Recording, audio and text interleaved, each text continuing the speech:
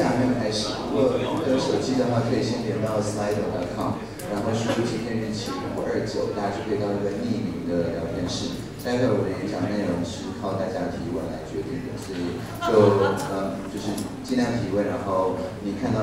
你也想问的问题就按赞，然后按赞数量高的就先问吧。呃，大概规则是这样子，所以就有空的时候先连上去 slideo.com 五二九。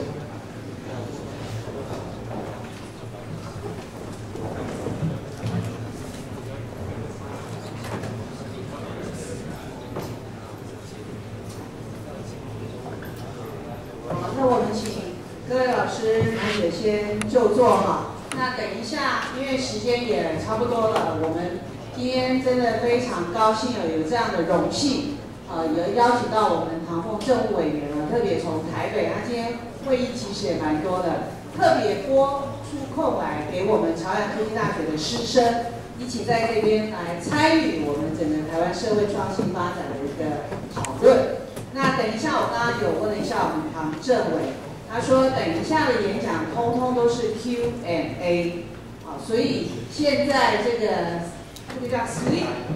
Slido.com，请大家先上线，然后呢，打入那个体字号五二九，那您等一下就可以把你的题目，你想要问的问题，而且是匿名的，你的名字不会出现，好，所以你想问什么都可以啊，只要除非大家。”问我结婚了没有？那不用问，好不好？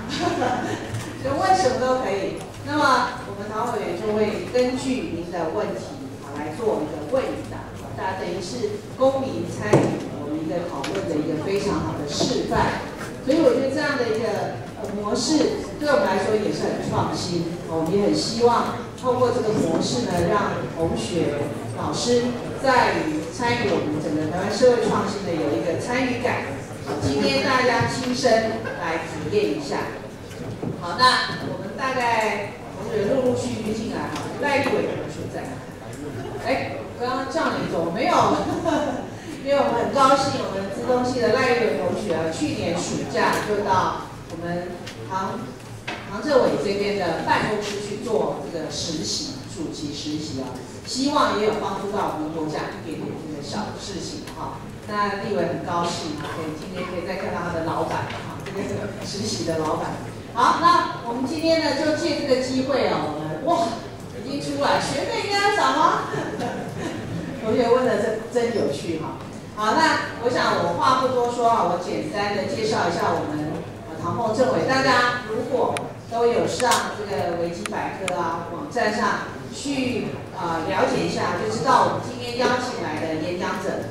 唐政委呢，非常的独特啊，在台湾是一个呃十四岁以后自学自学 programmer 的一个很特殊的城市设计师，所以他后来都在从事有关自由软体的创作跟工作坊接 case。那甚至呢，到后来更长大以后，就参与了公民怎么样跟政府治理的一些公共的对话议题，还有平台的创建，还有社群的这个支持。特别在 Pearl 的社群，G 零 V 的这个 Government 的这个社群，那后来在太阳花事件，啊，我们唐委员也参与协助我们大学生、高中生跟政府做合理的这个公平的在平台上的一个对话，提供我们很多的管道。我相信同学都不陌生。那唐委员，我觉得我们国家很幸运，唐委员现在在呃我们中华民国政府是以五党籍的身份担任啊第一位首位的数位政委。啊，这在全世界都是少数的创举，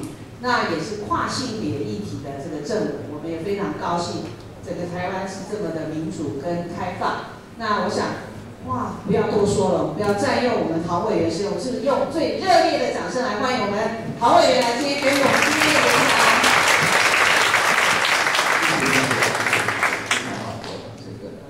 呃问题们已经有十四个问题了。呃，我我想是这样，就是我们从现在算起，大概接近呃两个小时的时间，大概一小时有五十四分钟的时间里面，呃，我只讲的内容就完全是由 Slido 上面大家问题所决定。那大家也可以看到说，虽然说可以匿名，但是有很多人有非常有创意的这个呃昵称啊，呃也会出现。那昵称当然也算在发言的一部分哈。然后，但这场是有有录影的。所以这个随时就是大家事后要看，我们会放到 YouTube 上面。那所以如果大家想要举手或不举手，呃，直接发问，呃，或直接对话，这个也是非常的欢迎。那当然就是说，如果在这两个小时里面，呃，三号我就把上面的问题全部回答完了，那我们就提早结束。那不过呢，这件事情从来没有发生过，所以大概也这今天也不会发生了哈。那所以我们大概就不再多呃耽搁大家的时间，我们是不是就直接进入啊我们今天的主题？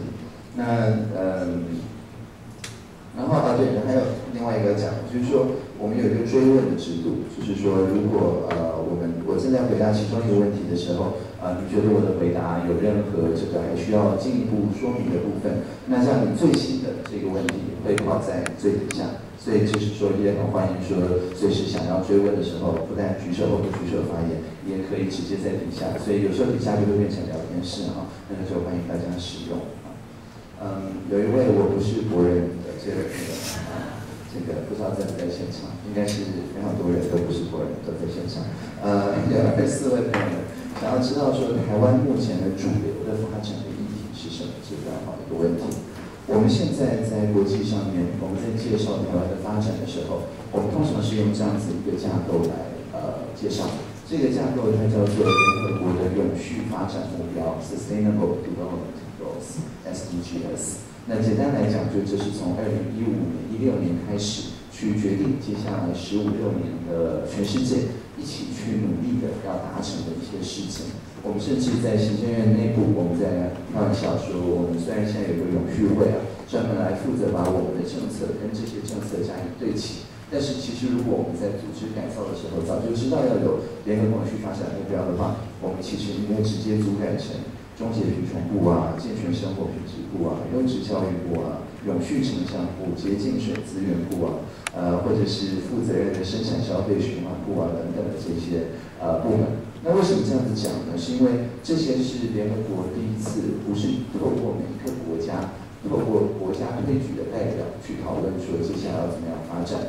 而是说所有受到气候变迁影响的人。在不管他在哪一个国家，不管他有没有国家，呃，像图瓦卢，他就可以去组成一个 major group，专门去谈说有哪一些地方的人会被气候变迁影响，他本来居住的地方啊即将要跑到水面以下。那所以呢，这些 major group，它有些是 NGO，有些是环境团体，那当然有些是社会进步相关的一些团体，有些是经济发展方面的团体。这些团体它在联合国第一次去跟所有的各国家的代表是平起平坐的方式来决定说，在接下来十五年里面，到底要一起完成哪些事情，这是第一个特色。第二个特色是说，我们在做这些目标的时候，我们把所有会彼此抵消、彼此牺牲的部分都拿掉了。所以呢，不管你在做这十七项里面的哪一个分项，它都只会对其他十六项有帮助，而不会把它往往就是往后拖下来。意思是什么呢？意思是说，传统上面我们的想法里面，有时候会觉得可能经济发展跟环境的保护，或者是企业的私人利益跟社会的公共利益，或者劳方跟资方啊，当然大家可以想到很多了，就好像是拔河啊、拉扯啊，力量是互相抵消这样子的一个情况。那国家也好，联合国也好，都好像中间那个绳子嘛，就是被越绷越紧，那个张力就是越来越大。但是呢，透过永续发展这样子的想法，透过社会创新的想法，我们就说，我们找出十七个题目，在这些题目里面，所有各种不同的力量，它是只会彼此凝聚的，而不会彼此互相撕裂的。所以就是在不同的立场里面去找到共同的价值，然后去把它做好。那当然，这个在台湾有非常多的呃，包含我们的合作社或者 NGO 或者是公司等等，其实过去二十几年。大概都是在做这样子的工作，就是结合商业的力量、环境的力量、社会永续的力量，一起去呃把台湾做得更好。那当然，我们现在这个部分就是跟国际上面有相当多的具体的合作。所以，如果要问我主流的议题是什么的话，我大概就是说是永续发展目标。然后我自己在做的是 SDG 十七，就是说怎么样更有效率的。运用资通讯的工具，让本来文化不同、语言不同、国籍不同等等的朋友，当他要做其他十六个目标的时候，怎么样快速达到一些共识？那我当然再这样讲下去就变成 seminar 了。所以如果想要这个想要呃听更多的某系统一个目标或某个做法的话，我们就在 slide 上面继续提问。那但是这个问题我想我们先处理到这里。呃，我们有二十六位朋友想知道说，请问我对目前台湾的继职教育的看法？呃，目前呢，呃，我现在是在行政院是管数位方面的一些政策，包括数位外交。那但是呢，在加入行政院之前，我本来是呃在教育部的十二年国民教育课程发展委员会，十二年国教科科发会，我们做的呢就是十二年国教的课纲。十二年国教的新课纲，希望能够在明年如期上路的那个课纲，它有一个很大的一个不同，就是说在以前我们那个高职啊，感觉上好像跟高中，它在一开始就分流了，就是好像。呃，高一的时候，你们就要决定你要做哪件事情。然后呢，它在高级的体系里面呢，它的这个每个科目又是比较细的，就好像是说已经是一个跑道了，你还要划分更细的一些轨道，然后大家在上面的轨道上面去拼所谓的这个竞争力。那但是呢，呃，我们现在呃在检讨的时候，在我们看课纲的时候，就发现说这样子呃并不一定是最好的做法。为什么呢？因为我们常常发现说，首先高职这个字可能未来就没有了，就叫技术型高中了啊，所以技术高中，不管是技术高中、综合高中还是一般高中，我们都发现说，其实最好的一些积极的人才，他是能够很灵活的去运用各种不同跨领域的素材的人才，因为所有能够自动化的部分都非常快速的被自动化掉，因此那些不能被自动化掉，就是怎么调动自动化工具的这样子一种。那这样一种能力呢，我们就把以前的所谓的技能导向改成新的课堂，叫做素养导向。素养导向的意思就是说，我们不再去把学生看成工具人，而是说看是我们其实就是有这个自发的能够去运用工具的人啊，去运用人形工具的人。那然后呢，这个包含自发的素养，就是看到问题的时候自己去找到怎么解决；包含互动的素养，就是如果这个问题就是需要纠团打怪，你让他自己做，那跟你不同的职业、不同领域、不同文化的那个，能不能够去沟通、你去互动？那第三个是说共好的素养，就是在这里面找到一些共同的价值，不要把别人当工具用。简单讲就是这样。那所以这些东西是新的课纲的最基本的一个精神。所以我们在进行教育的过程里面，就包含。基本的这个劳动的权益的教育，包含怎么样呃去组织起来的，成为一个组织者的这样一个教育，包含怎么样去把自己的意见能够透过公民参与的方法进入这个职场的时候，怎么样是维系维系着，就是呃是对等的这样一个姿态等等的这些教育，大概都放在不管你是一般技术还是综合高中都要学的一些事情。而且如果你念了一年就决定说你要转的话，我们把课程设计成。从综合转技术，技术转一般，一般转技术，大概都不会花太多的时间，太多的力气。那到了高二的时候呢，现在的设计就是说，每个学校都有自己的特色课程。有的学校可能觉得，哎，我教哲学是我的特色课程；有的学校可能觉得我教电竞是我的特色课程。当然，哲学跟电竞中间有很多了，但是整个目的就是要用把大学的选修制度提前移到高中这边来做，最终是要达到所谓一生课表，就是每个学生可以设计。课表，它是透过学校所提供的以及社区所提供的这样子的一个空间，去让大家想到自己想要解决的题目，然后就去调动所有可能的资源去解决这个题目。当然，那也是因为我们现在学生的人数稍微少一点，所以教室多一点，所以在大高中阶段做选修是是比较快的。那整个目的就是说，希望大家到了高三之后呢。呃，要么就是已经找到一个很好的一个题目、一个方向，那当然也许做研究或进去呃深造，或者是说觉得说，哎，那我只是要多认识一些跨学门的朋友，那就可以提早进入职场，然后进入职场之后几年需要的时候再回到大学，因为我们学位授予法也改变了，接下来大学可以念十年，所以就会变成是说人跟大学的关系就不是一个线性的关系，而是随时你需要什么再回来学一点，就书到用时，这个随便找啊的这样子一个关系。所以，我想这个对于继职教育，它变成比较切合，就是每个人自己就是呃要调动哪一些自动化工具，要调动哪些领域、跨领域等等，它会变得比较简单。就是说，不会变成人就被锁死在一个特定的轨道上，而是你就转身，然后找到自己的轨道，然后就反正也没有人跑那个轨道，你就第一名了，就赢在起跑线上。但是又能够跟其他轨道上面的人合作。那以上呢是新的课堂的精神。当然要怎么样落实，其实是有非常多的挑战性。那最大的挑战其实是家长的这个期待，因为目前在高中阶段的人的家长，事实上还是在威权时代，在线时代成长的，所以对于我们刚刚讲那种非常强调自发，就是从实验教育来的这一套想法，多多少少还是有些恐惧，这是一件事情。那另外一个就是说，虽然我们在呃儿少保护法在刑法上，各位十八岁的时候都已经成年了，但是呢，不知道为什么莫名其妙在民法上跟选罢法上跟宪法上面这个还不成年。所以呢，中间就有两年的一个很奇怪的一个 gap，就是说你要负完全的责任，可是却没有完全的权利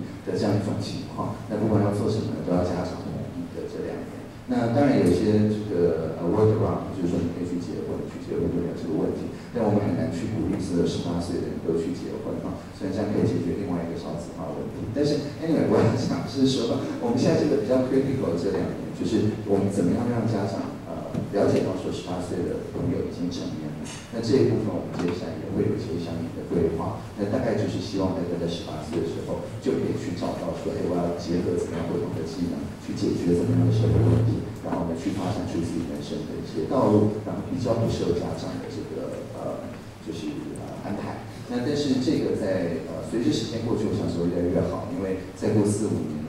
家长们大概也都是教改之后的一代了，我想这样能接受这样的想法，但是在接下来的两三年，这个会是蛮大的一个挑战。呃，有二四位朋友们想要知道说，这个是不是我对 AI 的发展是有一些疑虑的啊？呃，我想就是说 AI 这件事情，当然现在是非常的、非常的热门。我们事实上有一个专门的一个网站，在讲台湾对于 AI 的态度，那就是 AI 点台湾点 gov 点 t。那虽然它的网址的这个后面是 g o e 点 t w，但是呢，这个它比较没有所谓的 g o e 点 t w 那种美学，然后这是一个比较漂亮的网站。嗯，那因为那这个就是用英文的方式，让我们在各国的朋友们能够看清楚，说台湾对于 AI 是怎么样子的一个态度。那在这里面，我想要跟大家分享的可能最重要的一个态度，叫做 regulatory co-creation，就是说，呃，关于 AI 的法规，关于 AI 的 norm，就是呃我们在社会上面互动的方式，我们是希望能够是整个社会一起创造的，而不是说好像一种什么天眼啊、天网啊，还是天什么东西系统啊，是完全是由这个呃政府所决定。是一种 top down 的方式，人只能被 AI 所所所看着。那我们这边 AI 融入社会的方式跟那个刚好相反。啊，我们目前已经有一个叫做金融实验沙盒的一个三度通过的一个法案，就是让想要做 AI banking、想要做区块链 cryptocurrency、想要做 P2P lending，总之就是做一些尽管会觉得是我不知道该怎么管，因为我我没有看过这种东西的的这件事情的朋友，不会就这样走入黑市。而是说他会能够跟金管会说啊，我接下来六个月我就是要违法，我就是要违你的这三个法，那我就是要做一些实验，而且不止金管会，别的经济部啊、交通部啊、随便什么部的一些法律命令或者地方政府，只要你觉得说，哎，这些法律已经过时了，你想要挑战它，你都可以在你的 application 里面说，好，这些法规都已经过时了，我觉得应该要废除。那这个时候呢，金管会就会说，那在接下来六个月到十二月里面，你就可以违反这些法规来去经营你的 AI banking 或者随便怎么样一种实验。当然呢，呃，法务部每次到这边就希望有个业配嘛，就是说，呃呃，并不是什么东西都可以实验的。法务部特别强调，你不能实验说接下来六个月我要资助恐怖分子，或者说我接下来六个月我就是要洗钱。啊，或者是这这一类的事情，那所以保护的话就要展现。那除了这些之外，它还都可以挑战，都可以实验。这样的好处是什么？就经过六个月、十二月之后，整个社会都有看到这到底是不是一件好事，对社会是不是一个就是好，不会像驴鼠一样一个一个跳下去嘛？至少第一跳下去知道烫不烫。那如果这个是一件好事的话，那当然我们就回来调整我们的法规。如果立法院要改法律，大家可以延长到三年。这个实验可以继续做。如果这不是一件好事呢，我们感谢大家，呃，投资人帮我们付了学费，以后不要再这样做了。但是无论如何，这个就是让呃有创新概念的朋友引领着我们的法律一起往前走。那现在呢，我们也已经送到立法院第二部沙盒的法案，叫做 AI Mobility Sandbox，就是无人载具创新实验条例。那这个也是全世界第一部把陆海空全部都混在一起。送进去的，因为我们看到非常多地方政府，比如像它的运输的需求，它需要这种开开就飞起来、垂直起这样的东西，或者是这个无人船，或者是两栖、三栖的一些载具。那交通部都不认识，那这些也没有方向盘，也不知道那是什么，呃，它可能载人，可能载货等等。那在这样的情况下，我们到底要怎么样管这件事情呢？我们的做法同样的，就是说，好比像说我们呃在台北的这个社会创新实验中心，就有一些三轮车，它都是无人车，然后就跟这个呃应该是北科大的学生嘛，嗯，因为是 open source 的，他们就改改了之后，三轮车呢就在人行道上面就开来开去，然后呢有事没事呢，这个就跟行人有一些互动，那我们就可以看到说，因为这些资料都是开放的，你就可以看到说，大家对于这种无人的三轮车载着货或者载着一个人在那边跑来跑去，到底会会有什么状况发生？那这个很重要，是因为就像就是人类跟呃狗是当年的类人猿跟狼互相东西给互相驯化而来。我们重点不是只是让呃 AI 知道人类的社会的规则，我们也要看到说，哎，为什么这辆三轮车这边忽然停下来？他眼中看到的世界是什么？我们透过 AR 或者透过一些方式，怎么样进入他的思路里面，然后呢，试着去跟他沟通，包括他 over 啊，我们跟他进行有意义的互动啊等等。那这些东西在一个安全的情况，因为三轮车虽然说跑得快，但是其实撞到人也不会怎么样嘛。那所以在这种情况下，我们尽可能的去累积出社会觉得这件事情是 OK 的这样一套方法来。所以接下来的无人载具沙盒大概就是在测这件事情。那我们累积出来的这些呃演算法的参数，它会变成，希望我们接下来可以编译，就是呃转译。成法律的东西，就是我们先有人跟机器的互动，先有具体的 data data sharing，我们再做出一些参数、一些 parameter，我们再把这些参数用类似民事契约或其他方式编译成各国相关的法律或相关的法规文件。那这样子的话，这样子试验出来的东西，那就可以一次在非常多的呃不同的法律管辖区去使用。那这个就是所谓的社会创新 co-create 的模式，因为这整套东西是整个社会跟这个 AI 好像一个新物种一样互动的时候。一起产生出来的，大家都可以接受的一种共识。那如果在中间大家觉得这不是好事的话，那我们就感谢投资者帮我们付了学费，接下来不要再这样子做了。所以未来我们大概是用这样子的 co-create 的方式来发展 AI。那所以所有的疑虑，我们是希望说能够防患于未来，不是说于未来不行。但是基于未来，就是说，当大家是看到呃某一群人先看到某个版本的未来的时候，那他们在这一小块实验区，在未来生活的人，可以先提出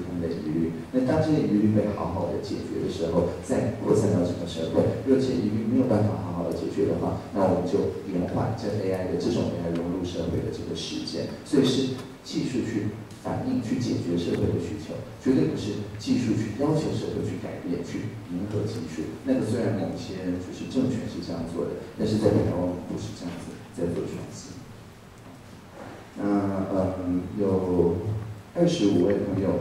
呃，十八位朋友，二十二位朋友，这个跳的真是蛮快。二十五位朋友问说，对目前两岸的关系有什么看法？人才之前往大陆前去有什么见解吗？我假设这是中国大陆的意思。就是别的大陆，呃，OK，呃，如果呃人才，我我想人才是这样，就是台湾是一个开放的一个社会跟经济体，我觉得人才的对流是非常正常、非常自然的事情。那所以，我我是觉得人才外流不是问题，我觉得人才外流越多越好。但重点是说要有相应的流进来的，就是要有对流。因为我们如果都不外流又回来，又外流又回来这样的话，其实我们没有办法去看到其他不同的社会，他们是在解决怎么样社会问题。我们的创新也就比较没有办法切割的我的永续发展目标，因为那些都是人类共同的。所以我自己也好，或者我很多朋友也好，不管是去西部，或者是去欧洲大陆，或者去中国大陆，或者去美洲大陆，或者去没有人去南极大陆，有人去澳洲大陆哈，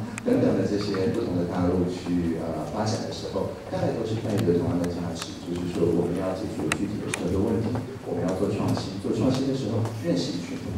在以前的时候，问题是说，好比像说有人去澳洲大陆，或者是去新加坡，我们以新加坡为例子，常常呢是台湾的年轻人跟新加坡的年轻人，大家在网络上认识，然后一起解决某一个问题，然后呢，哎，忽然就创了业。大概以前九成的几率就是台湾人就去新加坡，然后就在那边开公司，然后就不会回来了。只有十趴的几率是新加坡人跑来台湾住。那为什么呢？是因为新加坡有发一些，好比像说就业的金卡 g o Card）。这样子的一种签证，嗯，有的朋友表示好热啊，空白哭哭，呃，我是不知道空调是不是有可能有所调整，但是就是对于对于这样子一种想法，我尽表同意，所以我也多一下外表。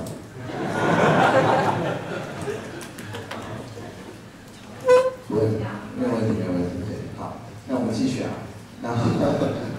呃，有一位蔡英文同学表示呢，气质好强，很感谢蔡英文同学，OK。嗯，anyway，那我本来要讲的是什么？我本来要讲是说，呃，在以前就是因为新加坡有发那种就是一年到三年的就业金卡，呃，你不需要事前投资也不需要在那边有一家大公司为你背书，甚至你去那边就是一个创业团队。这个时候他只要觉得说，哎，你是有趣的一个人才，呃，你还是就可以直接待在那边，而且有非常好的这个税负啊等等，像一些福利。所以当然都是台湾人出去，当然不会是新加坡人过来。不过呢，当然呢，我们以前的移民政策在这方面的呃所谓的高阶技术人才移民是呃仅次于日本的这个困难吧。那但是从今年开始，我们是仅次于日本的宽松，因为人家也交往过程，也跑到另外一边去了。所以现在呢，我们不但把新加坡刚刚那个制度整个抄过来，而且呢，我们还加码，不管是税负的，或者是健保的，或者是家属的。那事实上，以前他们那个三年的是不能 renew 嘛，我们这个三年还可以 renew。所以如果你现在在呃就是国外，就是你你外游了嘛，但碰到一群朋友，那你就可以把他们通通都这个抓回来，然后大家都去申请这个就业金。在这个情况下，不但可以 renew，而且如果他待了五年左右，那也有具体的贡献的话，他就可以变成台湾人嘛，我们就发呃就是国籍给他，那他也不需要放弃他本来的国籍。所以意思就是说，呃，also 台湾意思的的这样子一种概念，我想接下来会变得非常的重要。就是说，呃，我们并不介意人才外流，只要你多把人再带回来。那这样子一种对流的情况，像我们 BTT 的杜丽琴老师，他回来的时候就把头发拿来个 team，就是微软的 AI 的 team，就挖了一堆人回来。所以我想这样子的情况是非常健康的。我们鼓励大家不管在哪一个大陆，这个尽可能的发展。那但是我们会努力的把台湾做成一个说，各位不管是创新在那边做，然后在这边进行扩散。或者创新在这边做实验，然后带到那边去扩散的这两个情况下，人才资金法规这三件事情，我们都会确保说它会有充分的对，大概是这样子。嗯，有位朋友有二十五位朋友们，嗯，问说自学的心路历程，还有自学的建议。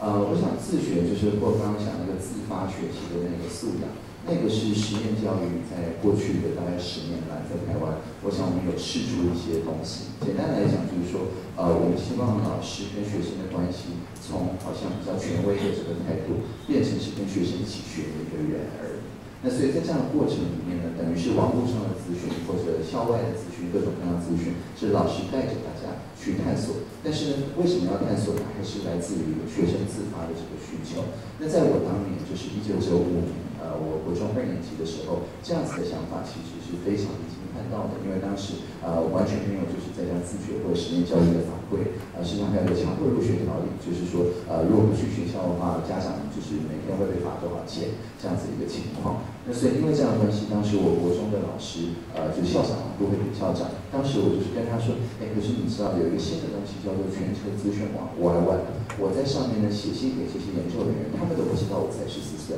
然后呢就会觉得，哎，你就是一个另外一个研究者嘛，我们就可以直接用 email 去讨论最新的资讯社会学、呃认知科学、人工智慧等等的这些题目。那这个情况下，比起我们的教科书跟大专用书，它是领先了十年。因为从一个研究被学界接受，到我们的课堂会看到，到书上把它变成教科书，再做老师的教学手册，大概就是十年的时间。所以对我来讲，像我踏入了十年之后的未来，那当然就对，就是说，因为我在学校好像没有什么意义这样。所以校长当时呢就很合作，因为我说服他了嘛，所以他就帮我这个跟教育局说，哎，他都有来，但事实上我都没有来。那就是在同一个时期在做类似的事情，还有像曾亚明啊等等。我们是那一辈的，那就是那一辈之后呢，就是到我弟弟考中考的时候，当时就开始有所谓的公办免疫，然后有新的新一波的实验教育的办法。那到现在已经，我们的法令已经允许高达百分之十的学生在台湾是可以透过实验教育，不管是团体在家自学和其他形式来进行实验教育，这是非常的蓬勃发展。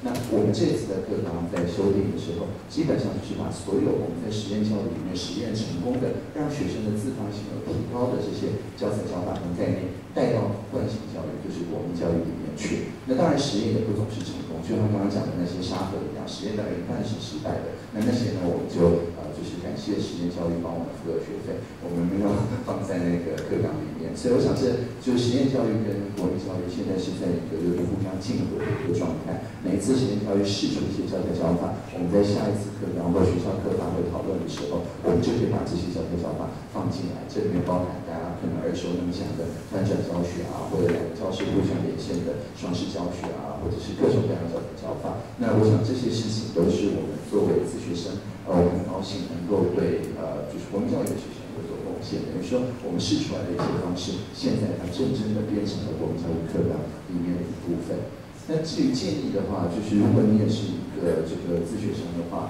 那我我最主要建议就是说，自学跟学校其实是不互相矛盾的。我呃中辍之后，就是我我这个偶尔这个没有再去上国民中学之后，我就去创业。可是我创业的过程，我就发现说，我有很多知识上面缺乏，而且除非你创业，你不会知道说你需要管理学的知识，或者你需要财会的知识，你需要国贸的知识，你需要心理学的知识，这些其实在呃就是创业之前，我都不知道我需要。那所以我创业之后，我就就跑去大学旁听，然后就直接先旁听公式，再旁听大学的课，然后再旁听研究所的课，等于自己去画出了自己的学习地图。那但是呢，就是我就是一学到之后就就会去用嘛。那用一用，我又发现说我又需要更高深的知识，我又再回去跟教授们直接一起做研究等等。所以我想就像刚刚讲大学可以念十年这个概念，就是未来如果你是有自发的倾向的，不管你是不是现在有个学籍在大学里面，你都都可以做自学。但是重点说你要把呃教授们或者老师们或者什么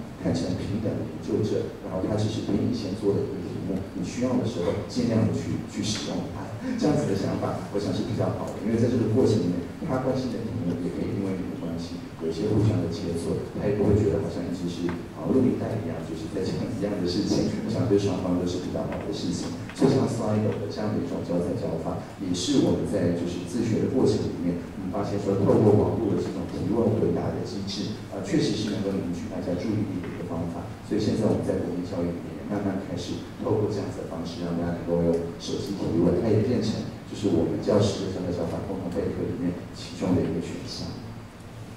有位朋友追问说，这样的高等教育对台湾的发展哈，是不是真的有用？很感谢有朋友真的在做追问哈。呃，我我想是说，我我们所谓的永续发展的意思，就是说每一个人他挑自己喜欢解的那个题目的方向去做，但是呢，因为永续发展的一个架构，它又可以跟别人有有意义互相结合，而不会互相抵消、互相消耗掉。那这个跟以前所谓的拼单科的个人的竞争力的想法是完全不一样的。也就是说，如果呃以前的教育要大家去拼个人的竞争力，通常是在那个很窄的轨道里面，你是第一名，第二名，第三名，然后后面是儒生嘛，对不对？那在这样子的状况底下，其实绝大部分的人他学到的就是怎么样把别人比下去，而不是说怎么样跟其他人组队合作。可是事实上，我们在呃任何国际发展或者解任何新的题目的时候，大家都没有看过这个新的题目的样子，所以你几乎一定得跨领域、跨文化去合作。那在这个过程里面，那个要把别人比下去的那个训练，其实是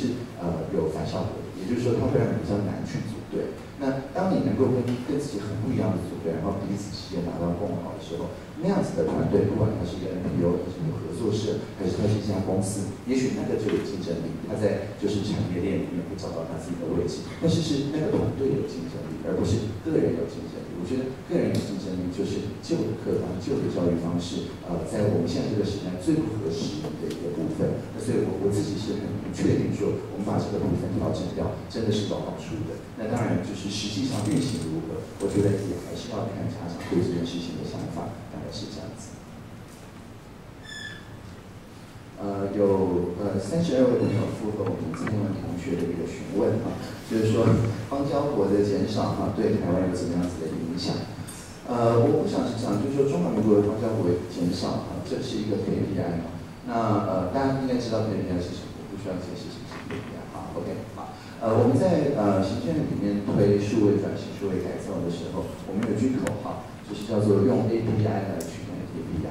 那呃，如果是学资讯的朋友。知道我讲，不过我还是这个解释一下好了。什么是 API 呢？API 就是说，呃，一个部门或者是一个单位或者一个组织或者一个系统，它告诉所有人说，哎，我不需要先认识你，但是呢，我这边提供哪些服务，它像这个点菜的菜单一样，你只要给我哪些材料，我就煮好什么菜法给你，大概是这样一个服务的清单的一个概念。那当两个系统中间用相同的格式用 API 彼此对接的时候，从外面看起来，它们就像是同一个系统。所以以前，好比像说，呃，你要开一家公司的时候，你要跑四个不同的部会。那现在我们透过 API 的自动串接，那你就只需要在一个网站上面去登录，那后面的这些部分，系统对系统的自动帮你串接好。报税软体同样的，你用健保卡登录，它帮你取掉你的所有的资料等等，大概都是后面的这个 API 的这个机制在作用。那为什么我们说要 API 取代 KPI 呢？因为以前用 KPI 去做管考的时候呢，往往就是每个部会要分别做亮点。所以呢，每个部位都会分别做亮点的网站。那我们很感谢我们大专的见习生啊，包含有一位同学在这边，帮我们这个看了全台湾这个五百零八个公务机关网站之后，整理出许多点建议。然后呢，呃，所有他们说要修的，其实好像百分之九十都修掉了哈。但是有一个最重要的建议，就是很多网站它不应该存在的。它它就是那个机关要充 KPI，所以就加了那个网站。但它事实上，它本来就是应该是一个服务，来提供更多不同的其他的机关的服务。那这个概念就是 KPI 取代 KPI。那这个东西放在外交上是什么意思呢？就是说，我自己觉得啊，我们台湾应该发展的是所谓的暖实力嘛，暖就是所谓的 warm power 送暖的这样子一个实力。因为在刚刚讲的永续发展那些目标里面，其实台湾我们都面对过这些社会问题。这些社会冲突，也有一些很具体的一些解决方案，我也可以说一些例子。那但是呢，在这个过程里面，我们能够提供我们怎么样在这个实验之后，我们真的解决了社会问题，而且可以往外输出。那这个就好像我们的 API 一样，就是说，只要任何其他国家或地区或人民或团体或 NGO，呃，有在没有自由的地方想要争取自由，没有人权的地方争取人权。空气污染严重的地方，想要解决空污问题，或者是任何台湾同胞的台湾解决的社会问题，我们都可以把这样子的方式直接输出给，并不一定是国家，而是直接对他们的人民去进行呃输出。那这样的话就会有很坚定的一些诱因啊，就会有长期的这个呃 API 的这样子一种串接。啊，我举一个实际的例子，大家三分钟的时间。呃，之前就是二零一二年底的时候，台湾有一个社会运动叫做“绝零”，这边没有可能听过，叫做临时政府。那目前还是非常这个顺利的在运作着。呃，我二零一三年左右加入的。那这个呃口号叫做这个“居零一”嘛，就是叫做呃，如果你看到没有人做这件事情，那就先承认你就是那个没有人。简单来讲，就是说，如果政府不做，那民间就自己做，做给政府看。做的过程怎么用 open source，抛弃掉绝大部分的著作财产权，所以政府想要使用的时候，就可以拿去使用，包含预算的视觉化，包含蒙点这个字典等等，呃，就是小帮手啊，各种小帮手，大概都是去年的一些专案。那去年也有一个专案叫做零时空污观测网，就是跟呃硬体的制造商啊做一个叫做空气盒子的，还有跟中研院的一些做资料分析的老师们合作，那加在一起呢，提供一个视觉化的方式，让大家可以实际看到。目前的空气的品质，那这件事情为什么很重要？是因为环保署虽然有一些观测站，在接下来三年好像要布呃上万个观测站，但是那些观测站不一定在大家的学校附近或家附近嘛。不管它精确度再高，如果不是在我家附近，到底对我有什么意义呢？所以呢，这个概念就是说，呃，用很便宜的 PM 二点五观测器，任何人都可以在自己家的阳台或其他地方去架设这样的 sensor，然后它去连到这样一个就是类似呃，这个应该可以叫物联网。就是 IOT 的这样子一个 network，然后呢，最近还上链了，而且还上了 I O T 这个区块链，来确保说它没有办法被篡改等等。那上了这样子有一个好处，就是说大家就可以更一目了然的知道说，目前在台湾的各个地方实际的空气品质。那我们在国际去分享这样的经验的时候，亚洲国家基本上都告诉我们说，这是绝无仅有的，因为台湾是有完全的言论跟机会结社自由，但亚洲即使是一些所谓的民主国家嘛。呃，不要说到两千个观测站像这边嘛，他们都跟我说，大概到二十个就会被约谈了，大概到两百个就查水表了。因为，因为这个东西它是在减低环保署的公信力，这个是在削弱政府的正当性，这个基本上就是呃，就是民间去威胁到了政府的数字。当两个数字呃不一样的时候，人民会相信自己有参与的那个，而不是说好像官方公布的那一个。所以这种叫 citizen science 啊，或者叫 civic tech 公民科技的东西，是在台湾特别的这个土壤去发展的。因为在所有其他的地方一发展，大概就是被打压了，在至少在亚洲了。但是在台湾啊，我们的中央政府是保持着一个打破过就加入的这样一个态度。所以说，我们看到民间上的时候，我们非但没有去呃打压它，反而编了这个民生公共物联网五年四十九亿的经费啊。去呃，首先请工业院去做便宜的 PM 二点五感测器，增加它的精确度，然后再请国网中心去提供免费的资料的储存，然后跟 NVIDIA 买了一大堆 GPU，然后让所有想要做这个模型的老师，接下来应该是今年年底就可以自己上载自己的 model 去运算，不只是空气品质或者高空空，就是无人机去量的那些呃境外的这个污染的这个数据，那也包含水的品质啊、地震的品质啊、灾防里面的各种。呃，及时的数据啊，所所有的东西，气象局的资料啊，水利署的资料啊，大概都会集中到同一个资料平台，就比较不会有老师们自己取得自己的资料，自己做自己的 model，那双方的预测有点不一样。可是我也不知道是 model 比较好，还是 data 比较好的那种很奇怪的情况发生。我们希望现在把 data 先全部集中在一起，然后透过国家力量建立一个大家能够就事论事的去对哪些政策造成哪些空气品质影响的对话平台。当然，有一些市长候选人。也希望我们在选举前把这个平台上线。不过我想选举是一时的，科学是永远的，所以我并没有发誓说要选举前上线。但是 anyway，我要说的是说，在台湾有这样子的一种发展，所以说全世界我们这个社会创新的是 open source，都可以自己自主的去运行这些呃，就是临时公务观测网，它也可以直接跟台湾这边的研究者要签很多 MOU，做有非常多实质的这种联系。那这样子的意思就是说，我们可以去扩展我们实质透过这样子的 API，跟全世界对空气品质感兴趣的社区，不管它是政府、是企业还是公民团体中间的这个联系。那这个是因为台湾不断的在输出新的创新，所以这个情况下，让跟我们的关系是非常牢固的。这个就不是说，哎，我来两架直升机换你讲两句话的的那种关系，而是呃这种非常稳固的、长期的跟公民社会的这种深层的这种关系。所以这个就是我说的 API 来取代 API 的意思。当然，就是我我不是外交部长，但是呃外交部就是最近呃才派了一位就是 API 相关的朋友来我们办公室。端午节之后就是我们的同事了，所以我们会一起把数位外交的这样子一种概念，怎么样用 API 去取代 API，跟外交部一起把它做出来。所以如果对这个感兴趣的话，欢迎在推特上面发到我们的外交部。呃，这个蔡英文同学想要询问说，这个对于蔡英文同学的施政啊，是不是满意？呃，那这这应该不是这个我们的这个总统在看直播吧？那呃，因为可能是没有直播嘛。呃，我我想这边我还是稍微就是引用一下我们实际去呃联合国永续发展这个呃网络，就是我去范尼邦的时候，那个时候呃我简报简报第一章就是就是这一章嘛。那这一章，呃，我当时在讲的就是我们蔡英文同学，呃，在上任的时候，他有个就职演说。那就职演说里面后面有个大概呃中后段，有一段我觉得讲的很好，所以那时候就跟联合国呃允许他想网络朋友们分享。他是说在以前的台湾，民主啊都被当作是两种价值中间的对决，好像一定是一种赢，然后另外一种没有发言权。那但是呢，从现在开始，民主要慢慢变成多种价值中间的对话。就是我刚刚讲到的，对环境的、对社会的、对经济的各方面的这个价值，我们在中间对话的过程里面，找到大家都能够接受的比较上位的价值，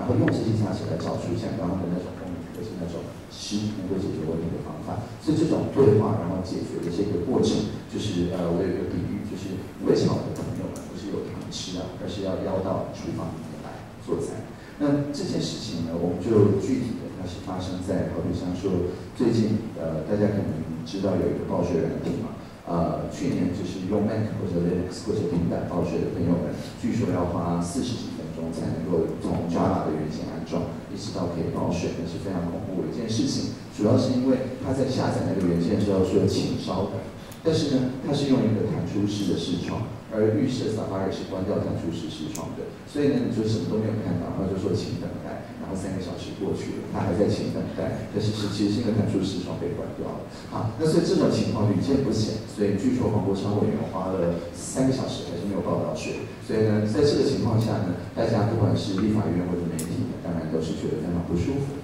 但是因为我们有个公共政策的网络参与平台，重一点只有一点台湾，任何人都可以去上面提案，集到五千人就可以让政府出来的一个说法。所以我们就有位卓志远同学在上面提案，严格来讲，这个好像不能说是一个提点子，因为他就是说报税人体难用到爆炸，那它的内容更是充满了负能量，我就不在这边直接跟大家分享了。那因为总之是一个充满负能量的一个提案，那大家底下有一整片的留言，大概八十趴都是负能量，只有可能十几趴在那边弱弱的说，我用 Windows 都还行啊，但是没有人理他哈。那所以这个时候就是一片风向，就是非常非常的负能量。那但是呢，因为我们每个部位都有我刚刚讲的。试着去跟这些多元价值的这个利害关系人 （stakeholder） 对话的，我们叫开放政府联络人 （participation officer），他们都可以去调动他们的三级机关跟旁边的部会的资源。所以，我们财政部的杨金跟专委，他就是 participation officer，他一看到，马上半夜就上去回应，不到四十八小时，他就跟卓志远说：“哦，这个这个朋友以及所有骂的最凶的朋友，各位都收到了邀请函，几月几号，请来财政咨询中心。”我们一起来开一个怎么样让报选变得更好，而且会直播的这样一个协作会议。哎，突然之间这个邀请函一发出去，从隔天开始风向就逆转了，就八成的朋友都在给建设性的建议，然后只有不到两成的朋友在那边弱弱的说财政部长下台，官方该死，但是呢没有人理他。好，那所以说意思就是说这样子只是一个邀大家进厨房的动作，就可以翻转网络上面的这个负面的能量，就变成是说，哎，大家真的能够坐下来看。而且坐下来的时候，我们就发现说，其实呢，骂的最凶的朋友就是最专业的朋友，就是学服务设计的，去学 user experience 使用者体验设计的，啊，是专业的部落格，他部落格他知道说怎么样用字才是最正确的，等等的，就是 communication 等等这些朋友。那其实呢，呃，我们的官报公司就是我们的厂商或者五区国税局，他们当然都很专业，可他们的专业可能主要是后端的资讯的专业，啊，backend 架构的专业，这些专业，而不是这些前端的专业。所以我们把这两种专业结合在一起，确实可以做出比较好的东西来。但是呢，如果你只是隔着网络看的话，就是觉得他们都是酸啊，或者是暴民啊，或者是这些。但是把大家邀过来之后，我们运用服务设计的方法，就可以去让这些不同的价值中间去有一个对话。那在这里其实有一个很重要的事情，就是说我们不会去呃修改或者和谐掉任何人的留言。就像刚刚 slide 大家写什么，我就去照实的念出来是一样的道理。所以，如果留言写字爆多，我们就是字爆多；华丽到让人迷惘，就是华丽到让人以往。或者是说，我们服务设计让他心情越来越好。那有朋友说想到要报税，心情就不好，等等的这些部分，我们都是直接把大家的留言直接贴在服务设计的这个流程里面。那那次的 user journey，我们大概盘点出了呃可能四个不同方面的问题。那在那个之后，因为每个礼拜五开那样子的协作会之后，下个礼拜一就是。隔着一排，我就会到政务会议上跟院长说，哎，这个大家讨论出这些共识，有没有什么想法？那当时林群院长就说，好，那我们就一个一个来解决。所以说，接下来的四场工作坊里面，我们就是跟呃所有想感兴趣的朋友们一起去进行设计，就是右下角是骂的最凶的朋友们，然后五区国税局的公务员、官帽的朋友们，呃，开放政府联络人、专业领导员等等，所有的这些朋友们，就是一个一个的挖 mark。啊，一个一个 WiFi 这样子去画，然后呢，一次一次一次的 iterate 之后，我们今年的就是 Windows 呃这样左边这样子，然后那个那个讲右边这样子，它是真的是漂亮而且好用很多。那如果大家就是今年还就是还满意的话，那我们明年 Windows 也会考虑就是也也变成更漂亮的样子。所以我要讲是说，就是说大家如果只看网络上面的这样子一种互相攻坚啊，那真的像是两个价值中间的对决。那但是呢，一旦我们引入这种协同合作 （collaboration） 的概念之后，它真的可以变成多元价值中间的对话。因为说到底，大家都是想一个更好的体验，只是从不同的角度来看而已。那我们就是让大家看到说，哎，真的五楼是专业的，真的这个香品是专业的。那这样子的概念，基本上我们就是透过一次一次的协作会议，到现在三十四、三十五次了，去让所有的各部会的朋友发现说，哎，原来所谓的这个 values of 台湾嘛。就是说多元价值嘛，就是许许多多的价值。那我觉得这个是很重要的，就是说我们怎么样让许许多多的价值能够凝聚成像刚刚那种共同创作的这种成果。所以我想就是说，嗯，蔡同学当然在上任的时候是说，呃，这是要最会沟通的政府了。但是从最愿意沟通到最会沟通，绝对是非常非常长的距离。那所以我们现在就尽量让政府开始信任人。一步一步的去走，那信任到一个程度，我想有一些乡民，有一些算命，就会愿意也 trust that，也愿意来进厨房，来一起拿锅铲，然后来一起做菜。那所以在这个过程里面，这个施政就不是总统一个人的，也不是任何部长，也不是任何政委的，而是大家一起做出来的东西。那我想自己炒出来的菜，自己带出来的一砖一瓦，这个东西它满不满意都不太重要，因为每一个过程大家都可以。继续检视，然后继续去 iter，继续去精进，就是自己的国家自己做的意思啊。嗯，有一位朋友追问说，公务员用 Windows 但是今天委员来演讲时候是用 Mac 啊？呃，我我用的是 iPad 啊，其实就是 iOS。但是 anyway，呃，我想公务人员其实现在也不不都是用 Windows。呃，我们的呃就是政府标准组态里面其实也有 Linux。所以以我的理解就是说，如果你用 Red Hat 的话，那这也是一个可接受的这个公务的一个配置，不过当然就是比较窄的那些机关，大家才会去去用 Linux。那但是呢，呃，我们基本上现在想要创造的一种体验，就是说，不管你用哪一个作业系统，都是以 Web base 为主，然后 Web base 的前端是一致的，后面的那些 backend system 是用 API 串联，所以你用什么作业系统，大概就 doesn't matter，大概是无所谓的一个情况。那我们唯一不希望的就是大家还在用 Windows XP，那因为它这个自然上有非常大的这个困难。那所以我们就编了一笔特别预算，把基层的公务员那些跑不动这个 Windows XP 以上的作业系统的电脑，都换成能够跑得动的系统。因为 Windows XP 它真的接下来这个呃有很多的自然的漏洞是欲绝不可的，所以在这种情况下，我们希望很快的把它换掉。那所以我想作业系统是越来越呃不是一个很大的一个问题啊。有一位哎终于有真名的朋友说这个自动性的冯俊成呃有。在现场啊，啊，老师，同学们，老师，哎，问说，如果数位治理势不可挡，那么选举的制度是不是也应该纳入数位的方式？啊，我的看法是什么？呃，我想是这样，就是说，我们目前就是在现场投票的这件事情，它其实，在呃众议平台上面，它是已经有做到的。呃，我们刚刚讲的是联署案嘛，对不对？我们任何人都可以呃在这边集到五千个人，然后呢去做联署。从某个角度来看，这也是一种。投票，但是他不是选人，他是选事情，他是问说哪一件事情是重要的。只要有五千个人觉得这件事情是重要的，不管是要在农村盖一座新的医院，或者是说呃刚刚讲的二选人提要重新设计，又或者是说呃我们最近才刚处理的那个案子是说用感热纸这个印出一大堆这个呃优惠券，到底比起印彩色印刷的 DM 是不是更破坏环境？这个呃答案是不是？它还是可以回收的。破坏环境，但是呢，还是应该变成电子载具等等。就是民生没有小事啊，要不要设漏洞报警察？单身的女性应不应该能够用人工生殖？等等的所有这些事情，都可以在这个平台由民中提出来，然后来做具体的讨论。所以这个东西它其实也是一种电子的投票，它其实不是投人，它是投事情。那这个是众人平台。那当然在众人平台上面，我们也有所有的法规跟法律的命令的预告跟所有的众开讲，然后跟我自己觉得。也是非常重要的，叫做来监督。来监督做的事情就是把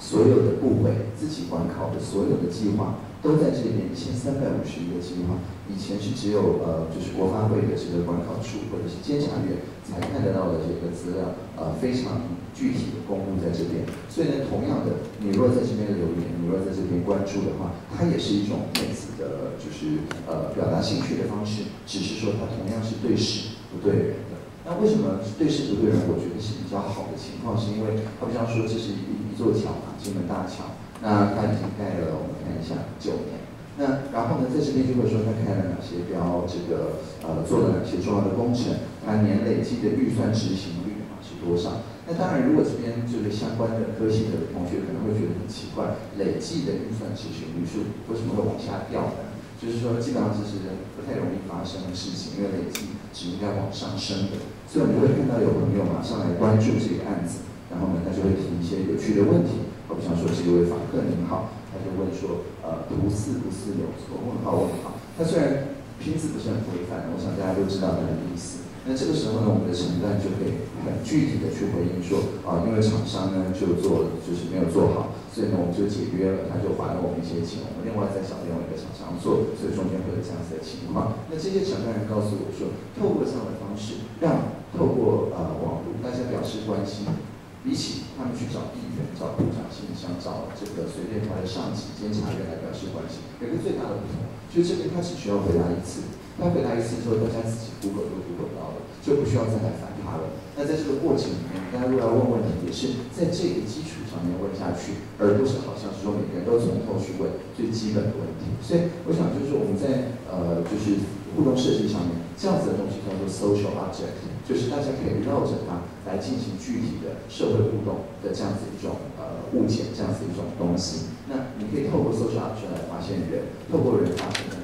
在透过更多 object 发现更多人，这样子无形之中就变成一种大家参与的民主的一种网络。所以目前两千三百万人里面，已经有接近五百万个自然人，可能已经超过了在用这个网。站就是呃政府仅次于这个十家登录最多人次的千万人次的一个网站，所以我想讲的是说，呃这些都是呃泛称，都是你都可以把它当做这个就是电子的或者是数位的这种治理或者是参与。那你要做联署的时候，同样你也会需要通过手机的简讯来验证你的身份，所以你不能一个人注册五千个 email 信箱，然后就一个人就就联署成功了，这个还不行的。那但是你当然申请五千只手机门号，这个事实上是有难度啦，我也没有试过。但是总之，这个意思是说，它是多多少少是在呃，就是所谓的完全的实名跟完全的匿名中间去找到这样一个折中的地方，让大家既能够做参与，但是呢又能够呃不不一定需要亮票。这样子一种概念，所以我自己觉得说，在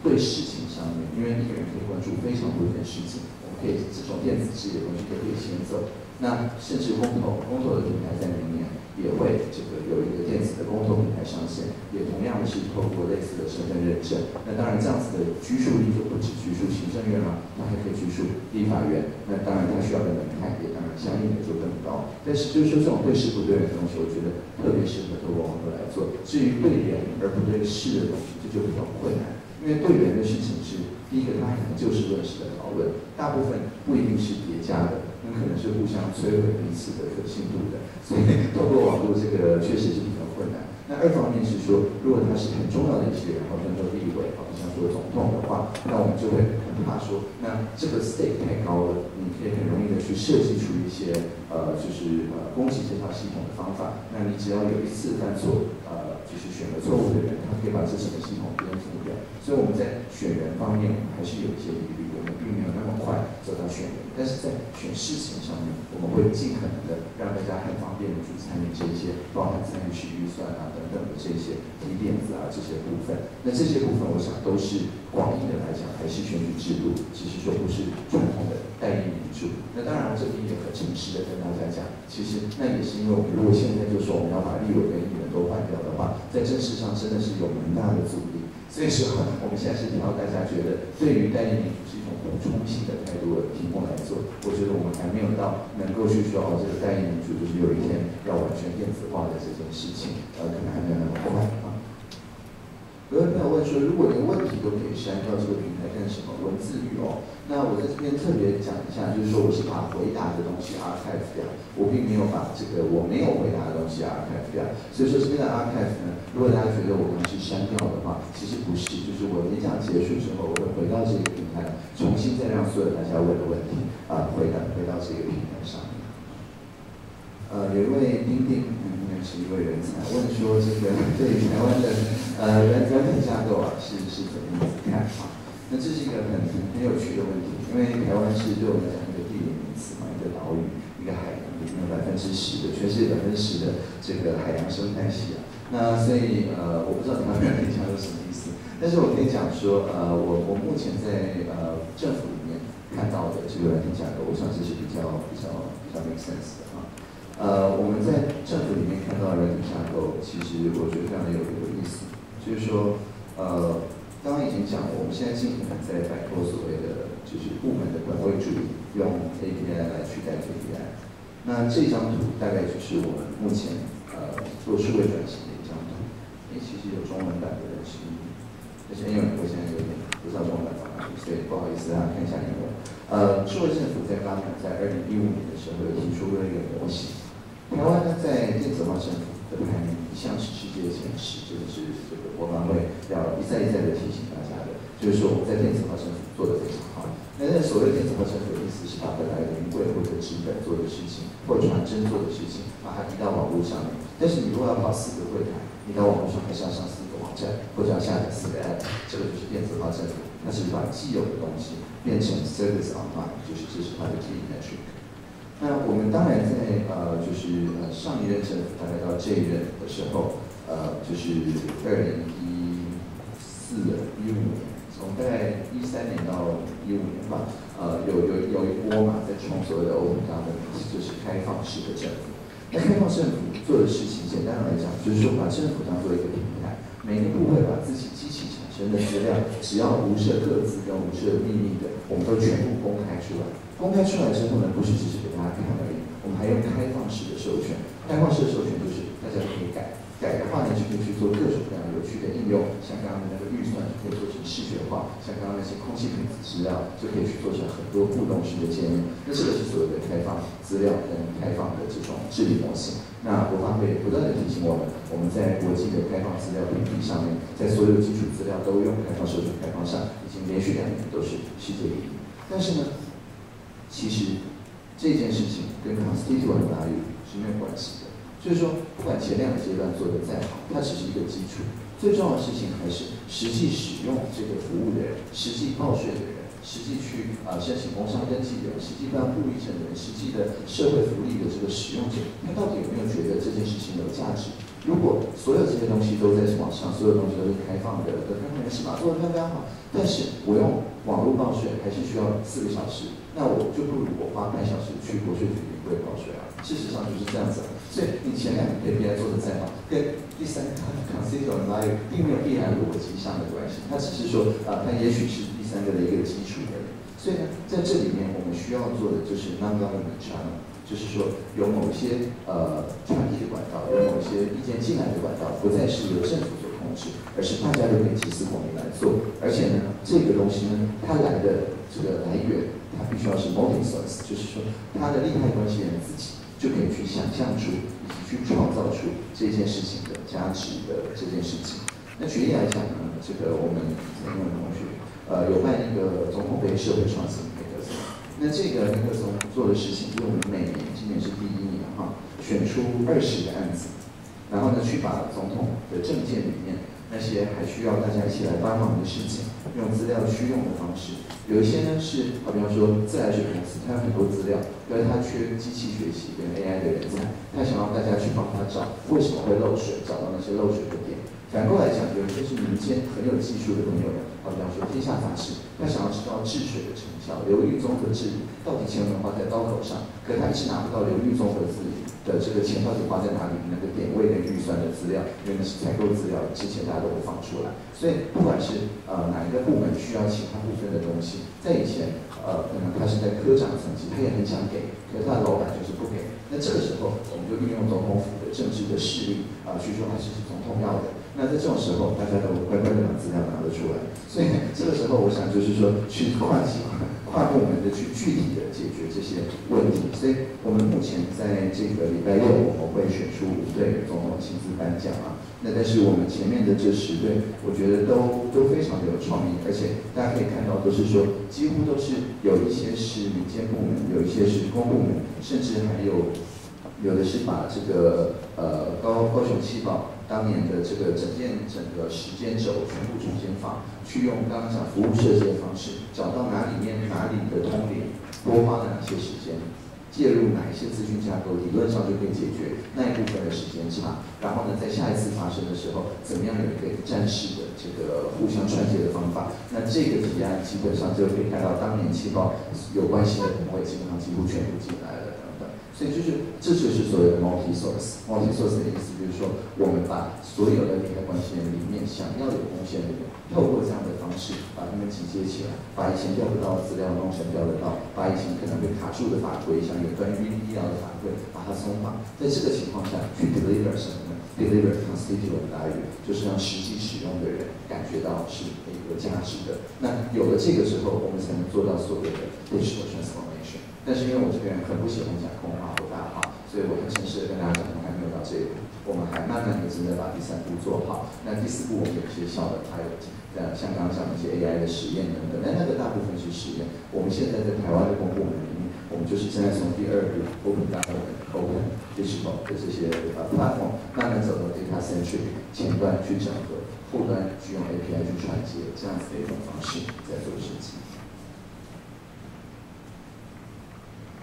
呃，有位给推哈，呃，这个不知道是要大家给推还是要我给推的意思哈。就是说，在戏骨工作的时候，有没有什么特殊的经验？其实我去戏谷每次都没有待超过半年，啊，我我还是住在台湾。就是说，呃，我跟苹果一起工作的六年，我跟 Social t e 一起工作的八年，我跟牛津大学出版社所有的这些呃国外的这些呃跨国的团体，我工作的时候，我绝大部分时候还是在台湾。即使我在西谷创业的时候，那时候九九年吧，呃，其实在那边有一个据点之后，绝大部分研发我还是会来台湾这边做。那主要的原因，除了这个我的。亲朋好友都在台湾以及台湾食物特别好吃之外，呃，还有就是说，呃，我很不喜欢开很长的会。那我如果待在同一个时区，不一定在西我可能在西雅图或其他地方的话，我就没有办法去规避掉去开四五个小时的这种事情。那但是呢，呃，我如果在台湾，我就可以说，哎，Cupertino 醒来的时候，我已经半夜十一点了，我已经要睡了，所以我只给你们一小时。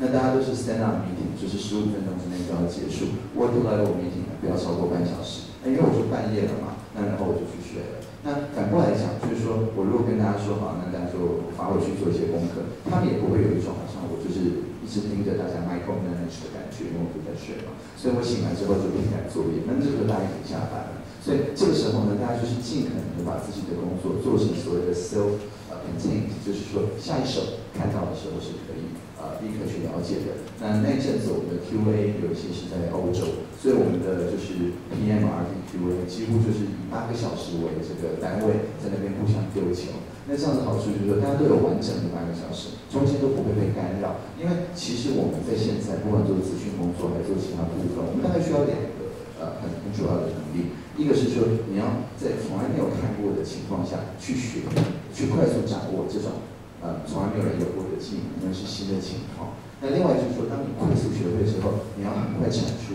对你的上下游有价值的东西出来，去 produce value。那这两件事情都非常需要不被打断。那如果你在不被打断的过程里面，你能够进入一个叫做 flow，就是呃心流啊的这样的一个 state 的话，那其实就是把自己的能力用到极限，然后在这个时候的学习是非常非常快，叫做 deliberate practice。所以我们就尽可能的把我们的工作，不管我们在做 Pino 或者我在跑到阿 o 去设计成说每一个远端的工作是，不管在加拿大、在印度、他在英国还是哪里，都有至少四个小时不被打断的时间，能够去做这种 self contained work。那这样子的好处就是说，大家的进步都非常快，然后不会被教会会议室里面去打断彼此的这样一个情况。那所以我觉得就是在西谷当时这样子一种 philosophy。就是这样子一种呃工作场所的管理哲学，我觉得是对我帮助非常的大，因为它其实很科学化的一些呃我们以前像是口耳相传的这样的一种经验，我们可以具体的运用看办法，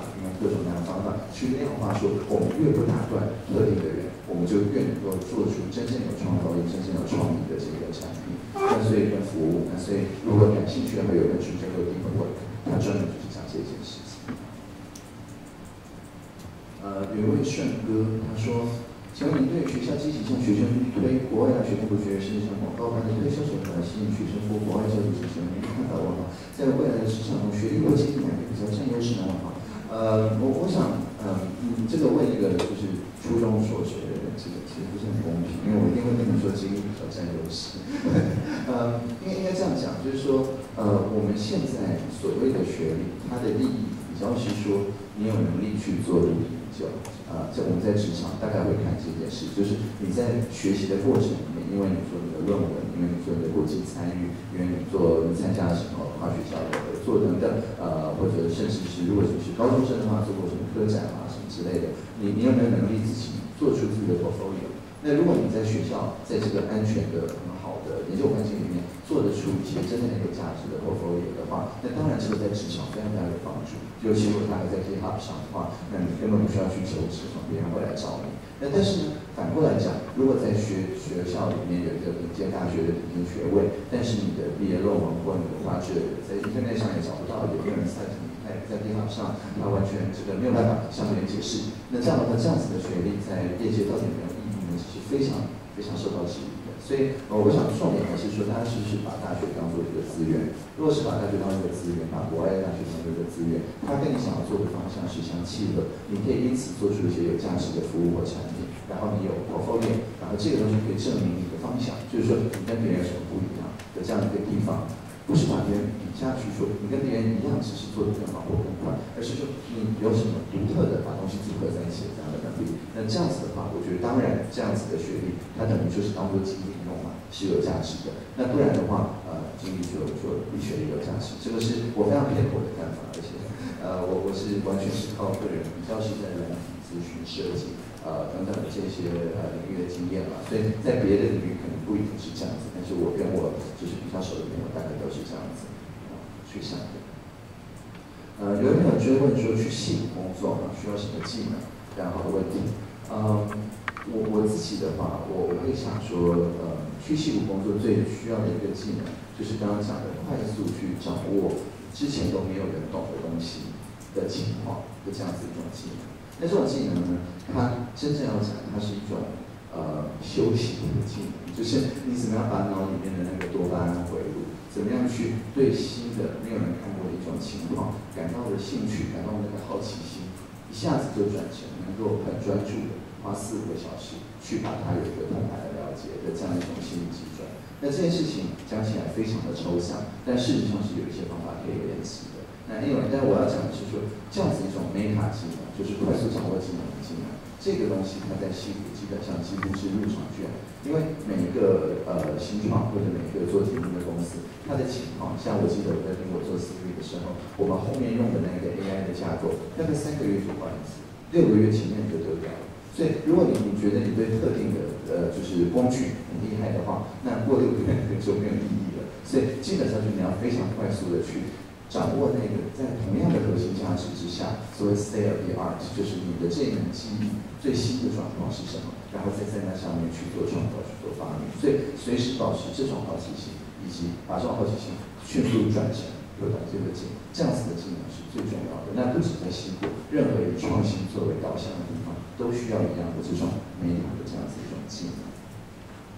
啊，有二十六位朋友想知道说，我们学校的劳作教育左光号大一要扫全校的右光号逗号，您赞成这样子的教育方式吗？或者是有什么看法？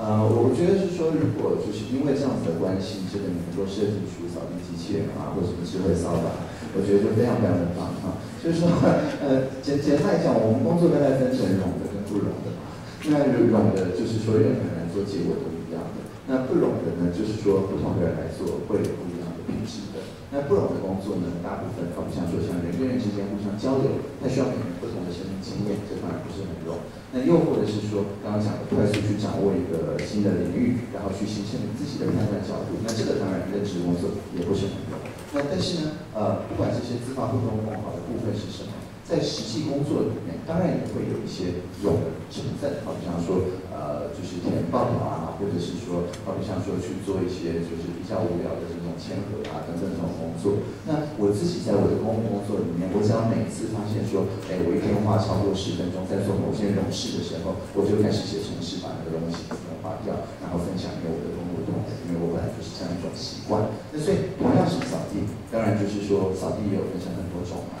你你在中间跟人的互动，那个可能不是很肉，或者是说你像某些武侠小说里面一样。里面扫地，里面练就绝世武功，那个也不是很肉。但是如果只是把地扫干净的这件事情，每个人来做都一样的话，那我觉得说这是一个很好的机会啊！大家可以去想说，怎么样去做重新设计，去让啊，比方说树叶它不会掉落，或掉落时候可以自动收集，啊比方说可以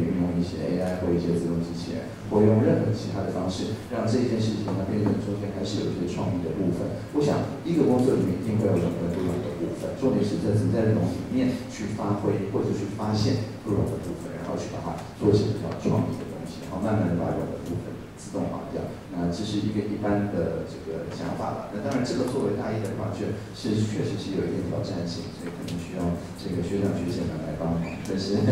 我我我我是觉得说是这样没有错。顺哥想要询问说，请问我是使哪一个牌子的洗发精？可以透露吗？感觉非常柔顺，最近天气炎热啊，想要清爽一些，谢谢谢谢。呃，OK，我我的头发是在一家社会企业叫做好剪裁，呃。来来剪的，然后呃我已经说很多呃，不管你问什么，OK，好好好剪裁，好剪裁这个裁是才能的裁，我们要要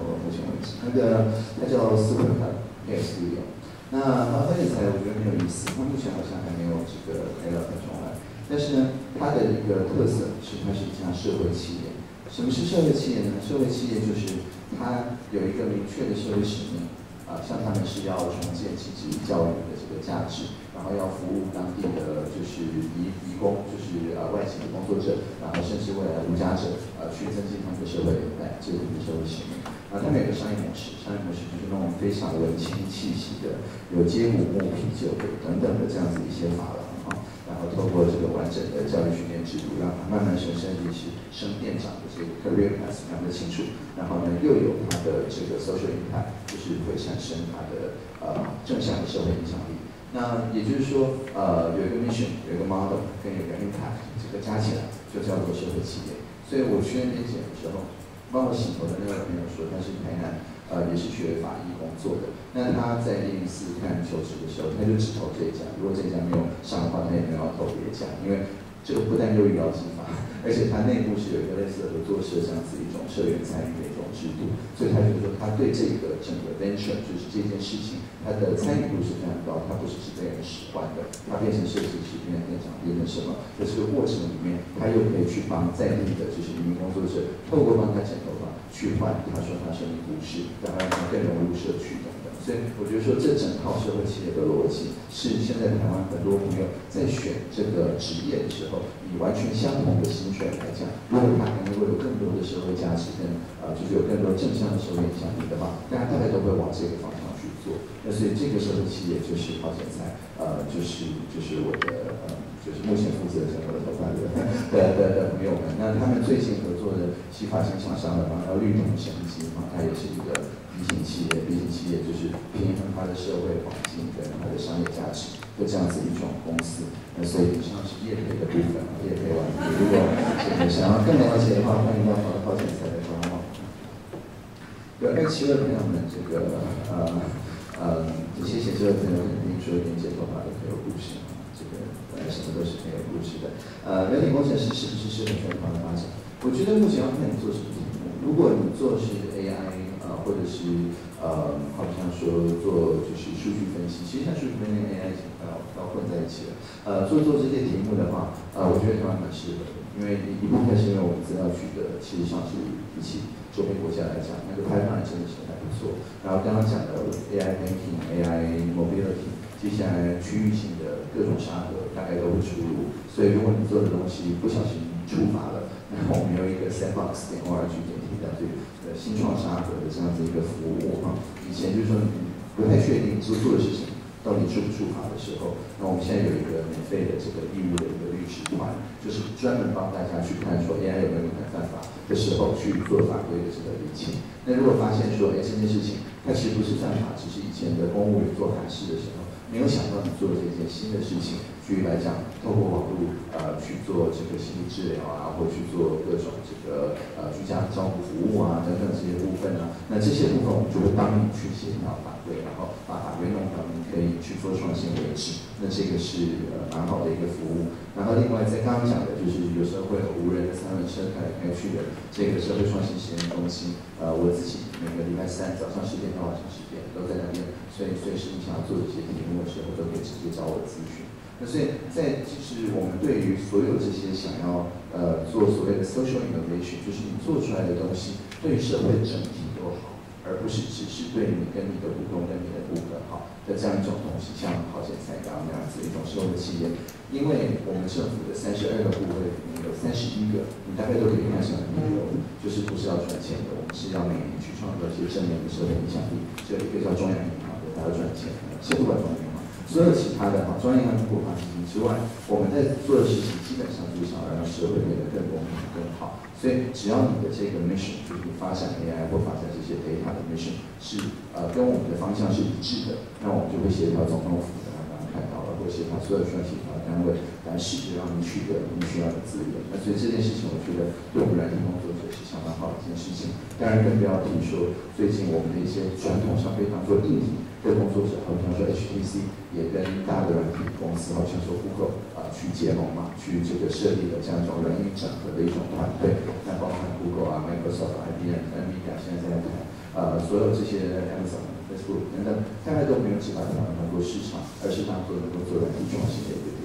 那所以这件事情，我想是让呃像我这样的软体工作者，呃比较愿意就是说在台湾继续创造出对软体工作好的环境来的一个一个呃具体的一个情况。那当然，如果你的软体工作是别的，好比如说跟着立体走的这个做 sensor fusion，做直接 H 端的 AI，或者是呃去做这个呃 firmware 去做 driver 去做这些东西，那那你本来应该日子就已经过得很很好，因为台湾的这个硬体生产链里面，对于这样子的 bundle 进去的问题是非常看重的。那所以这个部分一时三刻大概也也不会变得不好。所以就是这些题目，我想都蛮适合在台湾发展。你如果觉得有别的地方更适合发展，你在做题目台湾，嗯，目前还不适合做，那那就去别的地方做，然后试着告诉我们台湾还缺什么，然后等于台湾会呃是对的这个概念啊。呃，有一位呃一起同学问说。呃，您好，我们希望未来台湾可以在资源分配不均问题上得到更好的平衡。现在人工智能是否会对资本加强讯息，把劳动进行一些工业革命社会一样，社会变得变成新生苦苦，真的能够做到所有的集体的与主战非常好问题。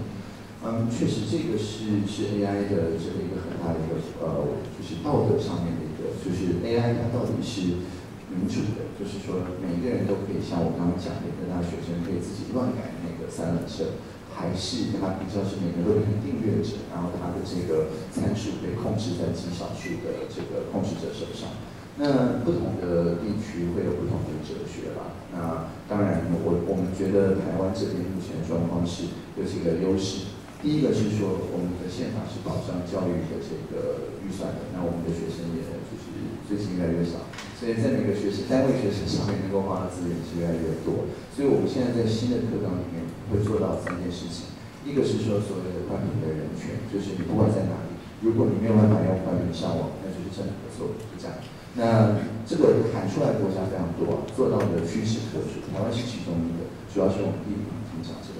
那然后即使是一些离岛，我们都专门拿光纤或微波过去，所以基础直先解决。那另外就是说，这设备怎去确保所有在国民教育的情况下，任何人想要连到像我刚刚讲那个国网中心去用他们的 GPU cluster，他们都可以有足够的设备去做这件事情。那如果你是比较就是弱势的家户，呃，没有行动载具，回家没有办法去做这些呃练习的话，三角教育的练习的话，我们接下来会跟说，你每三年都可以免费去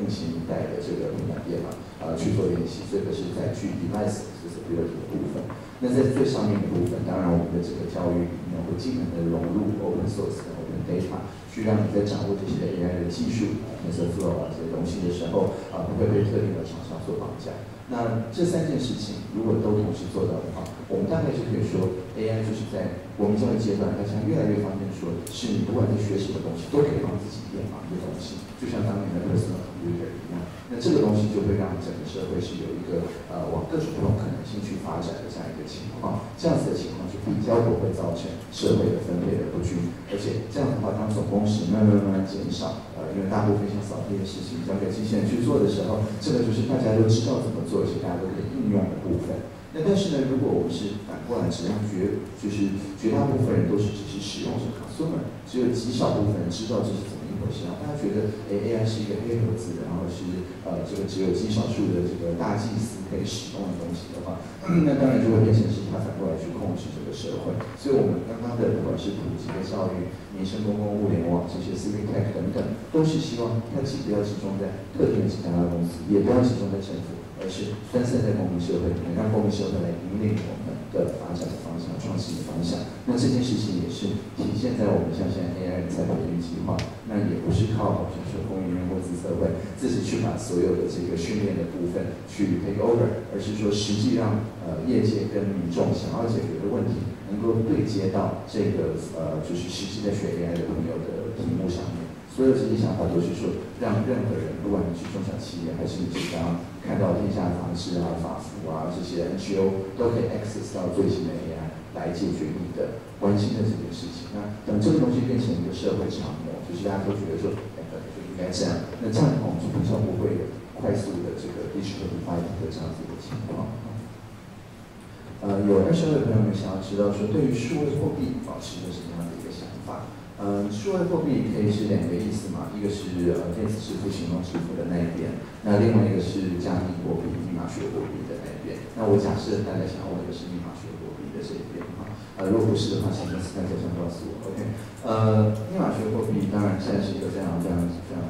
夯的一个题目，呃，它目前解决了一个很重要的社会问题，就是以前学密码学的人收入不高，但是现在学密码学的人都千万富翁了啊，所以就是说，它解决了密码学研究者。没有问题，但是 anyway，我想要说的是说，呃，其实这是好几层嘛，不同的 layer。就像早期 Internet 在出现的时候，我们有底层的 TCP、UDP，然后上面开始慢慢出现 Gopher 啊、TFTP、HTTP 这些东西，在上面又有很多 Web-based 的这种 protocol API，然后慢慢啊开始出现，这整套东西。我们现在在加密货币的这件事情的底层的这个研发还远远没有结束，因为它底下的这个基础叫做 DLT 嘛，就是分散式账本基础，它解决的就是所谓这个代战体制失误问题，就是呃有非常多人大家彼此之间很难呃保证彼此联系，念不上哪个人讲话是真的可以信任的，在这种情况下你竟然还要有共识，那这样子一个题目，当然我们中文。同学，呃，想出了一套方法来解决，就是所谓的比特币。但是在后来也有很多人想出了别的方法，呃，这个就是好像说呃有像图啊等等的方式去解决。所以它可能有区块没有链，或者是没有区块但是有链。所以不管它是不是区块链嘛，但总是解决都是底下同一个 DLT，分散式账本的问题。那这个问题它的解决目前是非常呃快速的在更新的。所以第一个就是大家都不知道那个高明的。到最后会是什么？而目前上面的这些东西的 protocol 啊，好像说以太坊的 protocol 或者比特币的 protocol，它的问题都是说，第一个它很耗电，然后第二个它每秒钟能够清算的东西就非常的少。那因为这两个问题，所以它很难当货币用，它比较像贵金属，它比较能够在贵金属用。那当然了，炒作是一回事了，这个就是韭菜啊，就是圈钱的，那个不是我专业，我就不讲。但是我要讲的是说，呃，对我来讲，它目前是很便宜的，让大家买到一些呃 accountability，就是说到有没有做到的这个透明度的一个方法。我们举一个实际的例子，因为这个没有实际的例子，可能没有办法讨论哈。呃，有一个社会企业叫做嘟嘟的，大家知道，那我是也是主管社会企业的政委，所以我。举的全部都是社会企业的例子，呃，有一个社会企业叫做然后他的做法就是说，他在呃大家捐钱的时候，呃，这是群众募资平台，我应该不用解释什么是群众募资平台嘛，就是说大家这个凑点钱来解决某个社会问题，那像支持尼泊尔洪水灾后的重建计划，那以前呢，呃，我们在就是呃有区块链以前，我们很难画出这样子的东西，然后取信于人。你知道我意思吗？因为这个网站的后台以前它的入籍、它的站长可以随便乱改这个这个字，就是他可以随便乱改这个资料，那这个网站也可能倒掉。所以说，如果它是特别它是跨国的时候，这个捐款流向到底它经过了几个中介组织，到了谁的手上，这整件事情没有那么容易的去让第三方用跨国的情况下去做集合。那这边他们用的是以太坊的公链，那所以在上面呢，他们并不是把它当货币用。他们只把它当成暂时账本用，然后在上面去记说每一个捐钱的人他现在到了哪里，然后呢这一拍到底有没有实发到需要的人手上，在这个中间每个 transaction 是用当地的那个 party 去写到这个公链。那当然因为是 public chain，所以说你要篡改系统是非常困难的。那在这个情况下，他就用比较低的成本去买到了一定的责性，就是一定的 accountability。那有这个 accountability，愿意捐钱的人就增加，其实就是这么简单而已。所以从某个角度来看。D M D L T 这种用一点点钱去买到泽西的这件事情，是在这个阶段我看起来最好用的一个应用。但是呢，呃，在它底层的一些数学模式解决之前，它还没有办法快到变成好像当做现金啊，或者是这个通货啊等等的这样子一个做法。那些小的私有的链或一些小的新的货币，最近都被五十一趴的代掉了嘛，对不对？所以这个告诉我们说，这个数学模型它还是需要更多的更新，才能够真正去当做货币用。当然，如果你已经掌握了最新演算法，然后我竟然还可以看到 paper 的要相信我，对不对？你没有信用沙盒，你可以马上去申请一个实验，然后去说好，那我就是在这六个月里面，我就是要把它当做现金用，然后看会发生什么样子的事情。所以我们还是同样的，就是透过创新实验条例，既不是靠立法院，也不是靠我们行政院，而是靠各位在掌握最新的创新的时候来违法，然后来告诉我们说法律应该往前翻秀，但以我们目前呃手上的资料，我们的 regulation technology，我们的监管科技，呃，并没有觉得说这个现在可以取得现行的这个程度，但是依据未来很快就可以。嗯，有位朋友问说，比特币追问说，是未来的货币形态，还是单纯的诈骗敛财啊？嗯，我想就是说，呃，我们我我以前就是在那边创业，我在创业时候就九六年，然后有一段时间资金取得非常非常的容易，那个叫做就是大涨发货。那呃就是两千年前后，然后突然之间投资人有一段时间就把钱全部都撤出来了，那所以那叫大涨 crash。那这个是 s t a r t 曾经经过的一次。但你如果看 Internet 的用户的话，它就是越来越多，它并没有因为投资人的投机跟这个泡沫化而让 Internet 没有人用。所以同样道理，就是好比说，大家如果做机器学习，可能知道有过两次 AI winter，就是说，呃，投资人打了一大堆钱，然后发现说，哎，没有出现这个万能机器人，所以又把钱撤走了。然后又过了一段时间，又丢了一堆钱，发现说，哎，那下西洋棋不做，可是也不能做出别的事，然后又把钱收走。所以在这个过程里面，如果你是就是跟着想要炒作的话，他当然就会觉得是诈骗敛财，然后血本无归。但是我想就是说最底层的就是科学技术，如果大家只看 paper 的话，那这件事情它是还是有解决社会需求。社会问题是它在那个 hype cycle 上面，它的那个点的位置不一样。那底层的，它只要还是对社会有有拉力，就会有人投入，然后就会有人做研究。所以我想就是说，一定有人用用它做诈骗敛财，事实上蛮多的。那但是如果你关心的是它底层的这个 DLT，它怎么样能够真正的去解决呃整个星球呃为单位，而又不要耗掉整个星球的电的那样子一种数学问题那这个问题是非常有价值、非常值得去解决的。那至于你要不要用这个来敛财，那是你的自由了，我当然是不可能这样子做。OK 好，嗯，有二十个朋友们想要知道说，教委员对台湾适合年轻去国外打工人才会养老的看法，在东亚台湾的学术地位一年入一年，新加坡与香港长期排于首位，中国大陆亚洲总体实力最强的技术中，风险绝对在你，让人觉得他们上多人长，虽然没有上过国家如此危险，但是也看上了三星这样子的大企业进入中华民国台湾，还有如何在另外一个方法，真的是适合养老好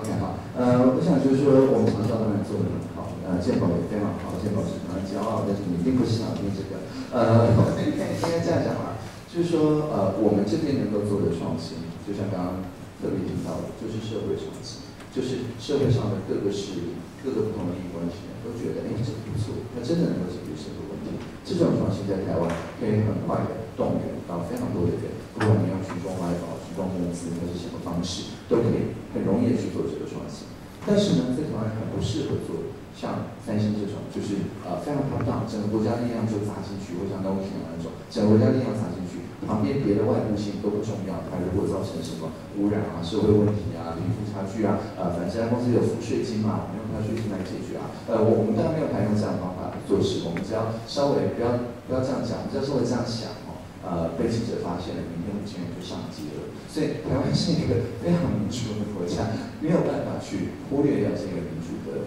呃，情况，然后去做这种违背呃社会上大部分利益关系，或甚至一般以上利益关系的这种单面式的踏板的创新。所以，如果你不需要那样的创新的环境的话，确实有别的地方比较适合。但台湾很适合做的，就是在跨领域各种不同的领域去这个结合。什么意思呢？就是说，呃，他像新加坡，他当然有很多研究做得很好，或者他在这个金融方面的这个领域，呃，是真的是做得很好。但是当他想要做跨领域的结合的时候，他很多时候就需要去旁边的国家，因为他并没有那么多的不同的 vertical 可以去做。那所以我这边呃，花大家大概五分钟的时间，举一个实际的我看到社会创新的一个例子，嗯。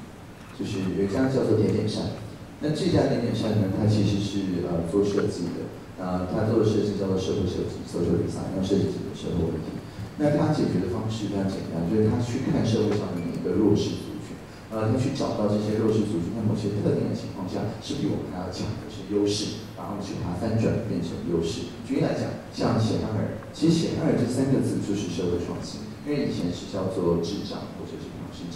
现在叫做写上来，其实已经是翻转，让大家觉得说，哎，它也可以提供一些我们就是也有一些我们没有的长处。像刚刚大家看到那个社会创新实验基地的那个足球场，就是写上来画的，或者是这些很漂亮的视觉设计。那如果这边有设计系的同学的话，就会知道说这些 original concept 其实是是非常难得的。那他就是辅导这些协会去产生这些呃视觉的，就是 V R 呀这些东西。那后来呢，他们又跟盲人朋友那台湾有另外一家视觉企业叫做恋爱对话，他们做的事情就是说，其实是欧洲传来的，但我觉得他们做的很好。就是说，就好像我们现在这么多人，然后开一个共识或开一个什么。对，但是他们是在完全全黑的地下室去办，把所有的光线都遮住。那这个时候大家都很 vulnerable，觉得手足无措，但是也更容易敞开心胸说一些真心话。那在这个过程里面呢，这个引导员非常的沉着，非常镇定，都是盲人，所以大家就发现说，在那个情况下，他们才是优势啊。然后我们是非常 vulnerable，然后这个被带着、被引导着。那这个过程里面，呃，就会体会到说盲人他的不同的对世界的看法。那你出来之后，对盲人的看法就改观了。所以简单来讲，点点成就是一个一个去看这种弱势，然后把它翻转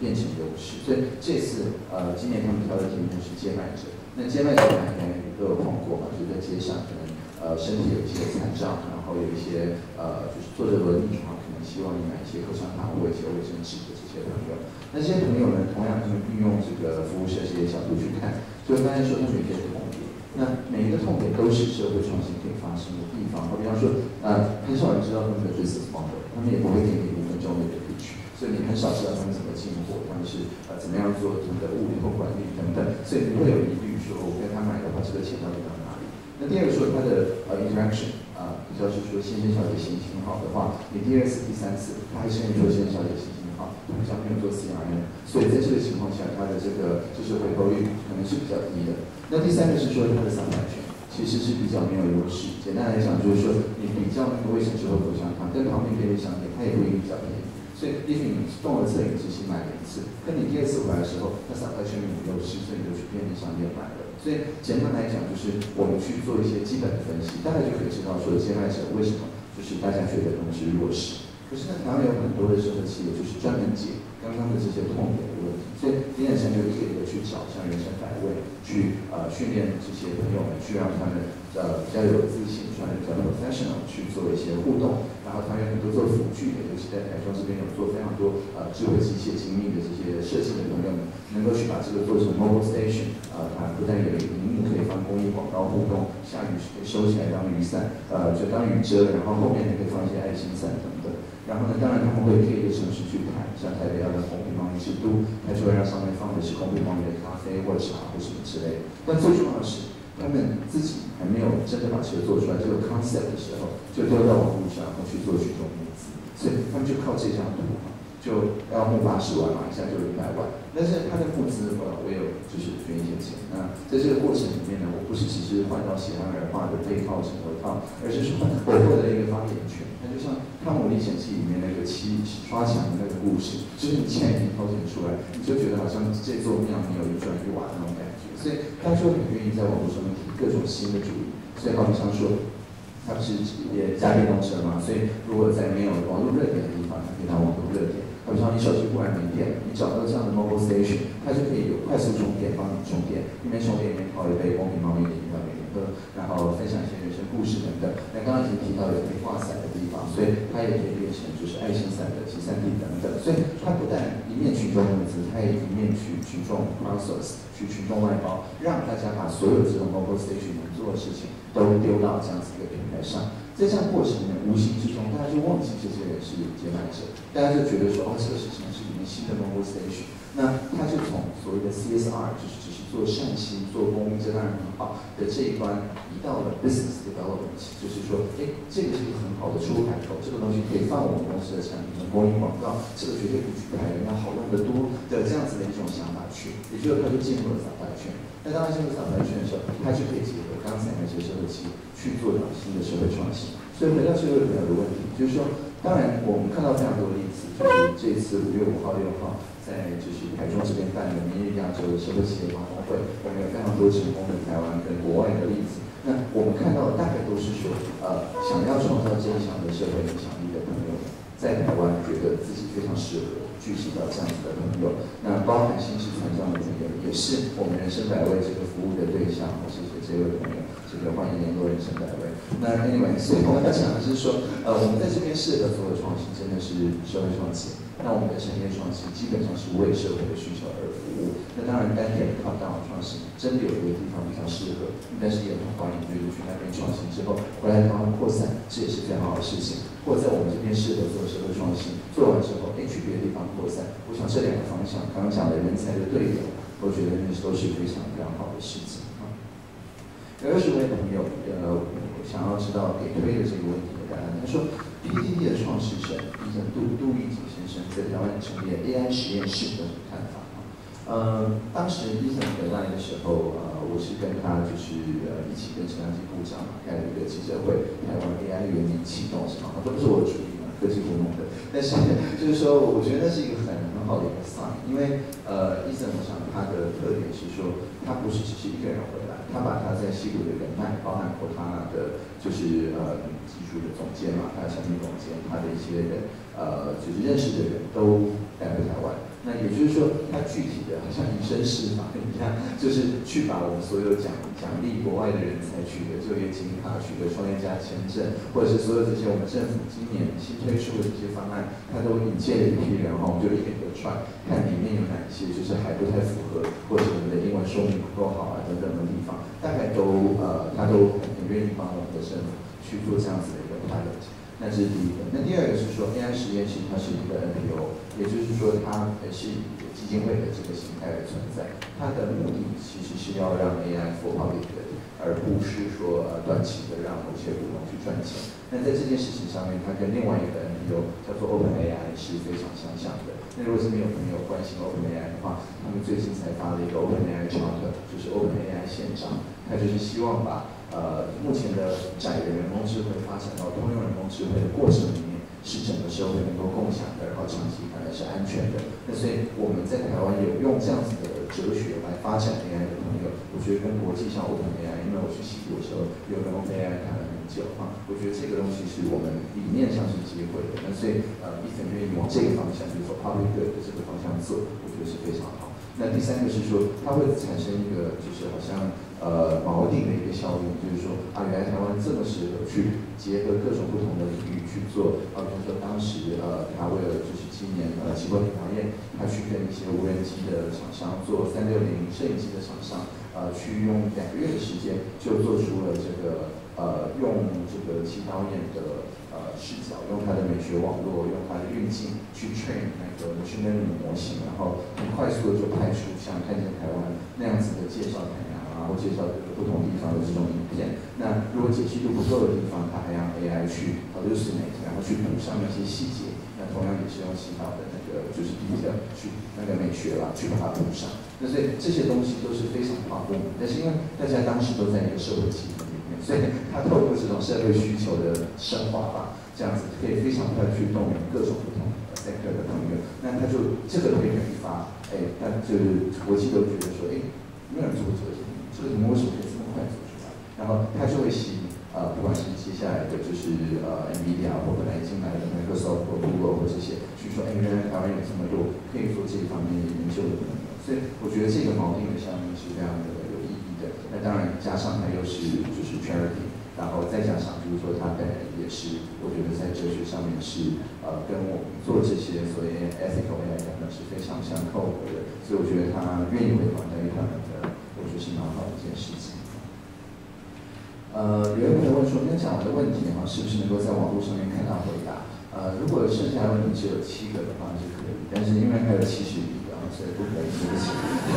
这个真的是困难。但是，嗯，就是感谢我们提醒时间啊，因为我们还有这个十七分钟而已，所以呃，稍微数一数就知道说今天的问题，我大概是能快问快答了哈。好，那我就不念出来了。好，那这个。呃，这个问题我想，老师偷懒，偷懒才是进步的动力吧。那呃，有偷懒的话，你就多一点。刚刚讲到低估尔的这种时间嘛，那就比较有时间去做教材教法。那我我是觉得说，不要不要甘于做软的事情，我觉得这点是非常重要的。那这点，不管是在教学工作还是在学习上，我觉得都是非常重要的事情啊。呃，资讯潮流未来会朝向，我觉得它它会朝向，就是刚刚讲的那个，呃，就是 open government 后面，我们往 digital 的这个方向去进行呃开发的时候，最后是还是往永续，就是 sustainability。sustainability 的意思就是说，这个东西你不需要靠人一直去就是重新重新调教它，它是可以呃自给自足的，透过跟接触到使用者不断的对话，自己去符合这些使用者现在新的需求。那像这样子一种我们叫做 co-creation 的这个模式，我觉得是接下来的一个资讯的潮流，就是说不再是说好像少数人啊去把社会的需求翻译成机器懂的语言，而是所有人人都有不同程度的资讯素养，那整套资讯系统才能够 adapt 给就是这整个整个城市或者这个区域的创新的这样子一种具体的需求，就是我觉得目前的一个潮流，嗯，这个我很高兴，我刚说我不要念出来，呃，OK，嗯，我我想简单来讲，就是说，嗯，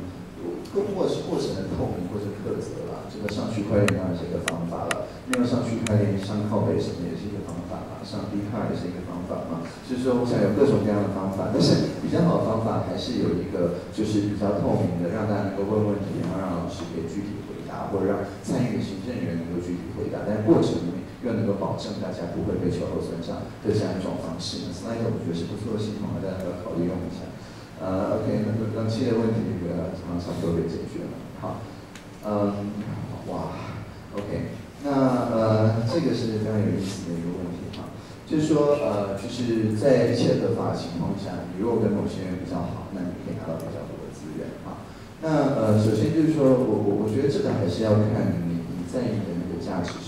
就是说，如果你在意的价值跟那一位朋友在意的价值是互相冲突的，那我刚刚讲所谓共好的意思，就是说要找出一个综合性的价值，就是说你你跟他都觉得这是好的，对某个综合性的价值。举例来讲，像呃我们在讨论刚刚不是提到什么单身女性的终身制嘛？那场我们邀了顾家门的张守迪老师、伴侣盟的许秀文老师，还有很多在电视上大家一定听过名字的这些呃摩天轮的朋友。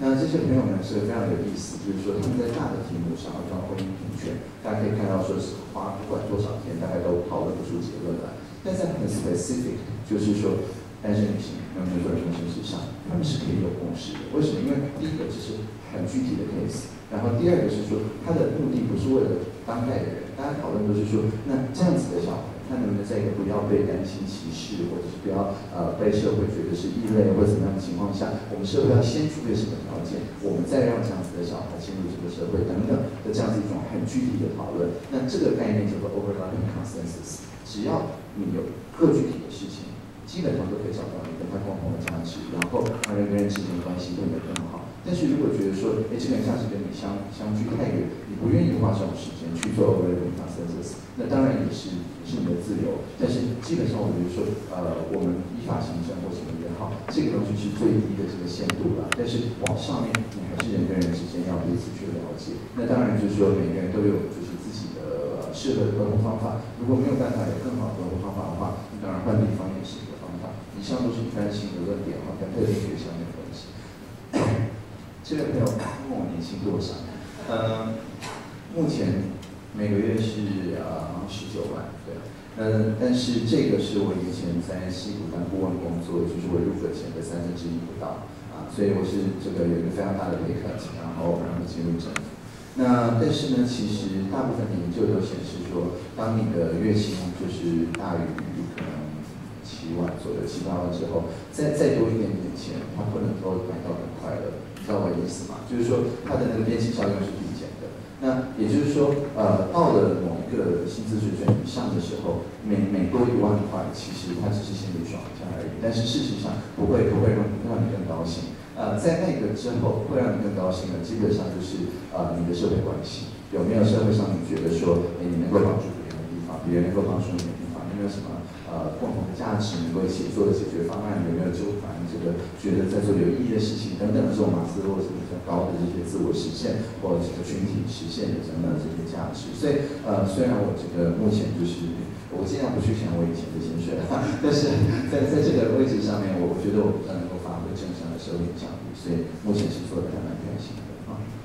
嗯，这位朋友问到一个非常好的问题。那呃，这里的关键词叫做平台经济，因为平台经济法规调试原则 （Platform Economy）。那这个是我们已经颁布的，透过一个叫 V 台湾的一个程序颁布的这样子一座法律，呃，是要法规吧，法律面临一个 regulation。简单来讲，就是说 Uber 那一案里面，我们其实是运用了一些 AI 的技术，去综合所有人对于这个 Uber 的想法。那这个这个就是所谓的多元价值的对话。当时我们用的是 TOPIS 这个技术，这个也是一个 NPO 哈，它也是一个 open source 的一个 project。它就是把所有人对于 Uber 的看法，你登录之后，你可以看你的 Facebook 跟 Twitter 朋友在这个 K 就是 Famous Cluster 的哪一个 cluster 里面，然后他用 Principal Component 去把最有争议的两个向度去把它画出来。那这样的意思就是说，每个人对于 Uber 的想法，比方说他的乘客应该要合理的保险，他是应该缴税等等这些题目，任何人都可以提出自己的想法，然后别人可以 agree 或者 disagree。所以如果大家提出了呃七十个或者七百个，那就是一个七百个点阵纸嘛。那你做一些 dimension reduction，你大概就可以看到说这个 crowd 大家慢慢慢慢能够凝聚的共识是什么。那在这个空间里面的特点，就是说大家都不能够回应彼此。你如果看到一个你不满意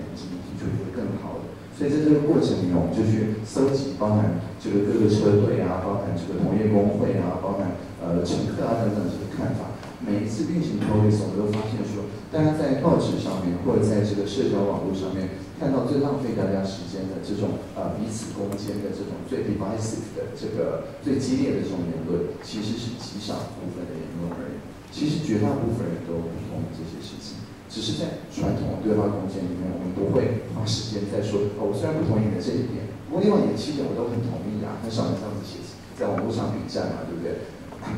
但透过这样的空间，我们就可以发现说，其实绝大部分是同意绝大部分事情的。所以我们在这个过程里面，我们就说，如果你能够让越多人同意你的看法，我们就同意把这些东西翻译成法律。那所以在当时，我确实是真的整理出了呃七点的这个共识。然后在这个共识里面，我们把它翻译成法律，然后所以目前 Uber 也叫到计程车，然后前车也可以用 Uber 的方式开车的等等。所以我们后来用这样子的方式对于 Airbnb，所以也因此调整了这个民宿的相关的一个条例。然后呢，也对于所有的这个平台经济相关的东西，现在都有一个考试的准则。所以就看他的这个平台提供者，他能不能决定服务提供者的这个价格，以及派遣给哪个服务提供者。他要是可以的话，那他就要负每服务提供者一样的责任。他要是不是，他只是单纯去把它列出来的话，那他可以主张它只是一个平台。那接下来我们还有数位通讯传播法等等的方式，大概都可以来解决这方面的问题。所以我想 Uber 的这个问题我们已经解决的差不多了，其他的任何平台经济的部分都很欢迎到我们的这个就是平台经济法规考试的这个平台 law 点 NDC 点 gov 点 tw 呃去提出就是所谓的新创法规考试平台。那我觉得这个平台很有意思，比如说你就算这个自己目前就是暂时想不出来有什么这个想要想要松绑的，你也可以最近这个有事没事就来逛一下，然后发现说，因为大家按照这个原则提出了什么东西，所以又又又松绑了这样子，我觉得这个还还蛮有意思的。所以有空的话可以逛一下这个网站。呃，有学校朋友说，那目前大陆掌握权益是想想你思考的前时代的人，什么什么那个前一个时代的人。嗯，好，那所以这个很有意思啊，就是说在几年之内有望改善。呃，我想第一个是说不一定啊，其实，在呃，好比方说市政府这个层级或者议员这个层级，呃我们已经看到有一个大幅的就是平均年龄下下降的这件事情。那当然就是说权力它是有两种的，就是说呃有所谓的 old power，有所谓的 new power。那 old power 它基本上是建立在阶层制度的，就是说建立在资讯的不对称上面的，越上面的人掌握越多底下的人没有的资讯，那是透过就是掠夺再分配资讯的掠夺再分配来取得它的 power。那但是 new power 完全相反，它是建立在大家都有相同的资讯，然后只要有类似的价值，就像 API 一样，够快速的串接在一起。那这个 new power 有的时候像在战争的时候是比较 counter power，因为它可以去呃摧毁或抵消掉的 old power，但它其实是在殖民时期，它也可以透过所谓开放政府的方式去变成大家一起来呃共同做决定。那这样子的 power，呃如果念社会学的朋友呃有一个叫做 power with，就是说呃就是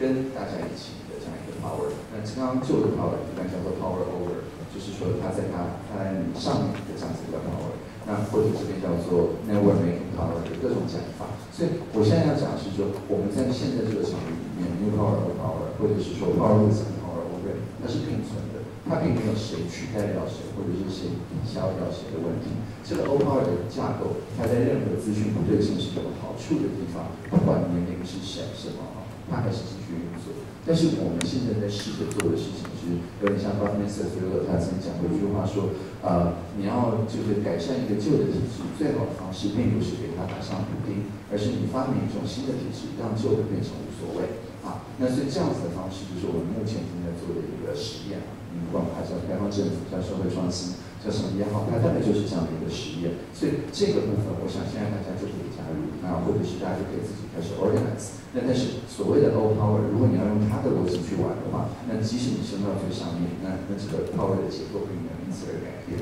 所以主要还是呃，你你喜欢凌驾于他一起上，还是你喜欢跟大家一起创造？按照每个人的性格不同，他会加入不同的 power 的这样的体系。呃，我想是这样，就是说呃，电竞它就像任何一种运动一样，就任何一种智力运动一样，它都可以变成是说，哎，你借由它来认识。很多很多朋友因此而学习好怎么当一个像 YouTuber 啊，或者是说怎么样去做这个相关的这个语音的，或者是做社群经营啊，或做什么，就是说它是一个呃让大家有兴趣的一个入口。可是这个兴趣进来之后，怎么变成核的 activity？那这个是所有投入电竞产业的朋友们都需要想的。因为就像任何职业运动员一样，出来之后，哎，你还是要做做一些相关的，但是别。的事情，那所以这件事情，我觉得反而把它不要污名化，把它主流化之后，大家都可以往这个方向去想。以前还有一些污名化的时候，反而大家就好像有点困在说，哎，他到底是读书还是不读书？事实上是两个是不相冲突的。啊，还剩四分钟。嗯，比特币何时崩？啊，我要是知道，我就去做空了。虽然，虽然，虽然我不知道啊，我不知道比特币何时崩。但是，呃，我刚刚已经讲了，就是它它底底下的就是呃，怎么样快速形成公式的方法。目前其实已经有一些新一点算法，好像说呃分散式乱数产生的算法啊，或者一些其他的算法。某一个算法，当它如果真的被证明它有比特币的那个 resilience，但是又只用比特币，比特币少的电力的时候，这个时候比特币马上就崩盘。但是这这块的密码学就是非常新的研究，所以就我我不知道什么时候会做到那个程度，欢迎。加入这个一个社群上面，呃，学生报告的数量非常多，对学习有意义。Again，就是说报告就是一个形式嘛。我刚刚也可以说是在做一个报告啊，大家是我的同事委员，对不对？但是我的意思是说，重点是你怎么样把它变成价值的互相传递，而不是变成是好像只是呃书面的那个技巧。那那个书面技巧练到一个程度当然是够的，但是价值互相传递这件事情，我想是可以呃不断的精进的。所以同样是说跟扫地一样。就是端看你怎么样看这件事情，怎么样去比较创造性的去运用这样子一个 format 啊。嗯，这个题目非常的大，呃，我想是这样，就是我当时具体的期待就是说能够回到所谓的学生为本这个教育，然后不要呃觉得老师在台上讲的就一定是对的，或我那边译文写出来的字一定就是对的，或者是呃有所谓的这个呃就是权威性的这个论点，好像。不能够去反抗，然后不能够有自己的创造的那种想法等等。那各位都是教改后的时代，所以应该都没有这个问题。我现在不管讲什么，底下马上就可以有人立刻枪枪哈。所以我的意思是说，这一块我觉得真的达到了。我当时的最主要的想法就是想要把老师跟学生地位变成比较平等的。那我想这个真的是教改的一个很具体的一个成就了。那当然并不是完美的。没有什么东西是完美的，但是我想比起当时就是我们四一零教育流行的时候，当然这个事情有非常非常长足的这件事情。呃，如期实施之后，如何改变目前所谓的高中、大学、高中、高中、国中哈？对，呃，因为这个这个非常好玩，因为一般课堂就是要高中、大学嘛，然后国中、高中嘛，所以它实际上是逆着这个这个东西做的哈。那下一个教育改革，它会是分散式的教育改革。我们在国民教育里面，这个新的课堂是所谓的柔性课堂，它赋予每一个学校的课堂会非常大的权利。所以你今年办的特色课程、校定学校、校定必修、社区课程等等，你到明年可以开始完全不一样的，而且完全是看你的社区、你的学生、你的家长怎么样共同去做创造。所以这部分就不会是需要教育部再来颁定一部新的钢琴课堂去让每个地方去做，而是说每个学校都开始有这种因地制宜的能力，去结合他学校社会责任，去结合他的社区。那同样道理，在实验教育我们大幅放宽之后，我们也会看到各种形态实验教育出现，有些会是失败的，但是在里面比较沉默部分，它有一个很自然的方式，能够让这些教学想法流到我们教育里面。所以接下来就会是一个滚动式的创新。那我们会希望说，这是不太需要呃，就是再来一个就是全新的课堂去。呃，就是让每一个地方需要的东西才呃得到更新，就有点像是说 Windows 10之后就没有 Windows 版本的这样子的一个道理。但是我也不说这个课堂是可以用永远的，只是说我们会希望说在接下来的创新里面，我们不一定要在课堂等级去进行调整。所以我想这是目前我们这个课堂设计的这个目的哈。呃，最后一个问题是说这个呃，你会对三创业的看法怎么样？呃，我是觉得说，三创业的最主要的目的就是说，让你在做你自己所谓的本职工作的时候，一直保持着另外一个社群，它让你跟别的社群能够有所连接。那在台湾，因为呃，我们就是部分时间工时的的法令，或者是呃，就是中高龄的重新就业，或者所有这种就是半 X 半 Y 斜杠，但是我不知道现在大家怎么讲了，等等的，就是说呃，就一面做面，一面做三八卷的这件事情，它不像其他的 OECD 国家那么发达。所以我们一方面正在法律上面把这块做补强，因为目前其实之前在劳基法就是修法的时候，大家常用一个数字，就是台湾的平均工时在 OECD 国家里面很高嘛。但是如果你把台湾的全职工时跟 OECD 的国家全职工时相比，台湾是中间而已，并没有特别高。那原因就是因为台湾绝大部分是全职工作者，那这种办什么办什么的兼职的或什么之类的，他的这一部分的法令的保障，还有就是社会气氛。会觉得说，哎，这是打零工，或者是说，呃，这个就是塞发，就是好好玩的，不一定有什么赚头等等。就是说，呃，社会对这件事情不一定那么那么 welcome，但事实上，这个才是跨领域的人脉能够拓展的最主要的原因。所以我们在 GitHub 上面可以增开一百个塞发证。那我我觉得这个是很重要，因为我就认识一群不同的朋友。那我每次要做一个新的题目的时候，我就能够在这些朋友里面去找到适合的人，然后一起去组队打怪。所以我是觉得说，社会气氛。对于这种赛发学，或是坚持的创业，或者是半 X 半 Y 等等斜杠什么东西，呃，我们会尽可能把它变得比较友善。但其实，在目前的情况下，有赛发学已经没有。好，那我们就准时的结束。我的第一号账号是 a u d r T 哈，A U D R U I T 哈，谢谢大家。谢谢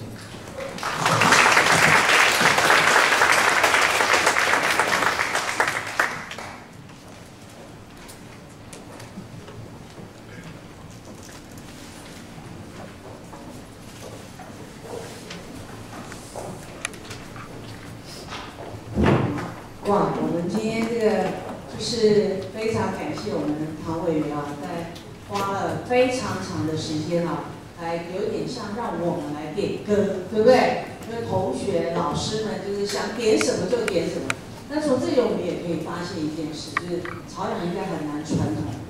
因为在网络潜水的人非常多。然后呢，所以今天大家终于找到一个发泄的机会，就可以好好的发问。我们唯一很可惜校长不在，然后我们的校长就可以关注到对更多的议题。那我相信我们就还要再邀请他们。再来一次，那一次要让校长也要在现场。好，那我想今天这样的一个实验呃方式哈，非常的有趣，也非常的有意思。那也让同学、老师们都可以呃来感受一下不同的学生啊，其实他们在私底下的议题可能是更具有爆发性，而且更有趣的。那所以当老师的呢，也要自我警惕，我们要准备的东西要越来越多。啊也要越来越有趣才可以。那无论如何，我们今天是不是再用一次最热烈掌声？谢谢我们唐委员，谢谢。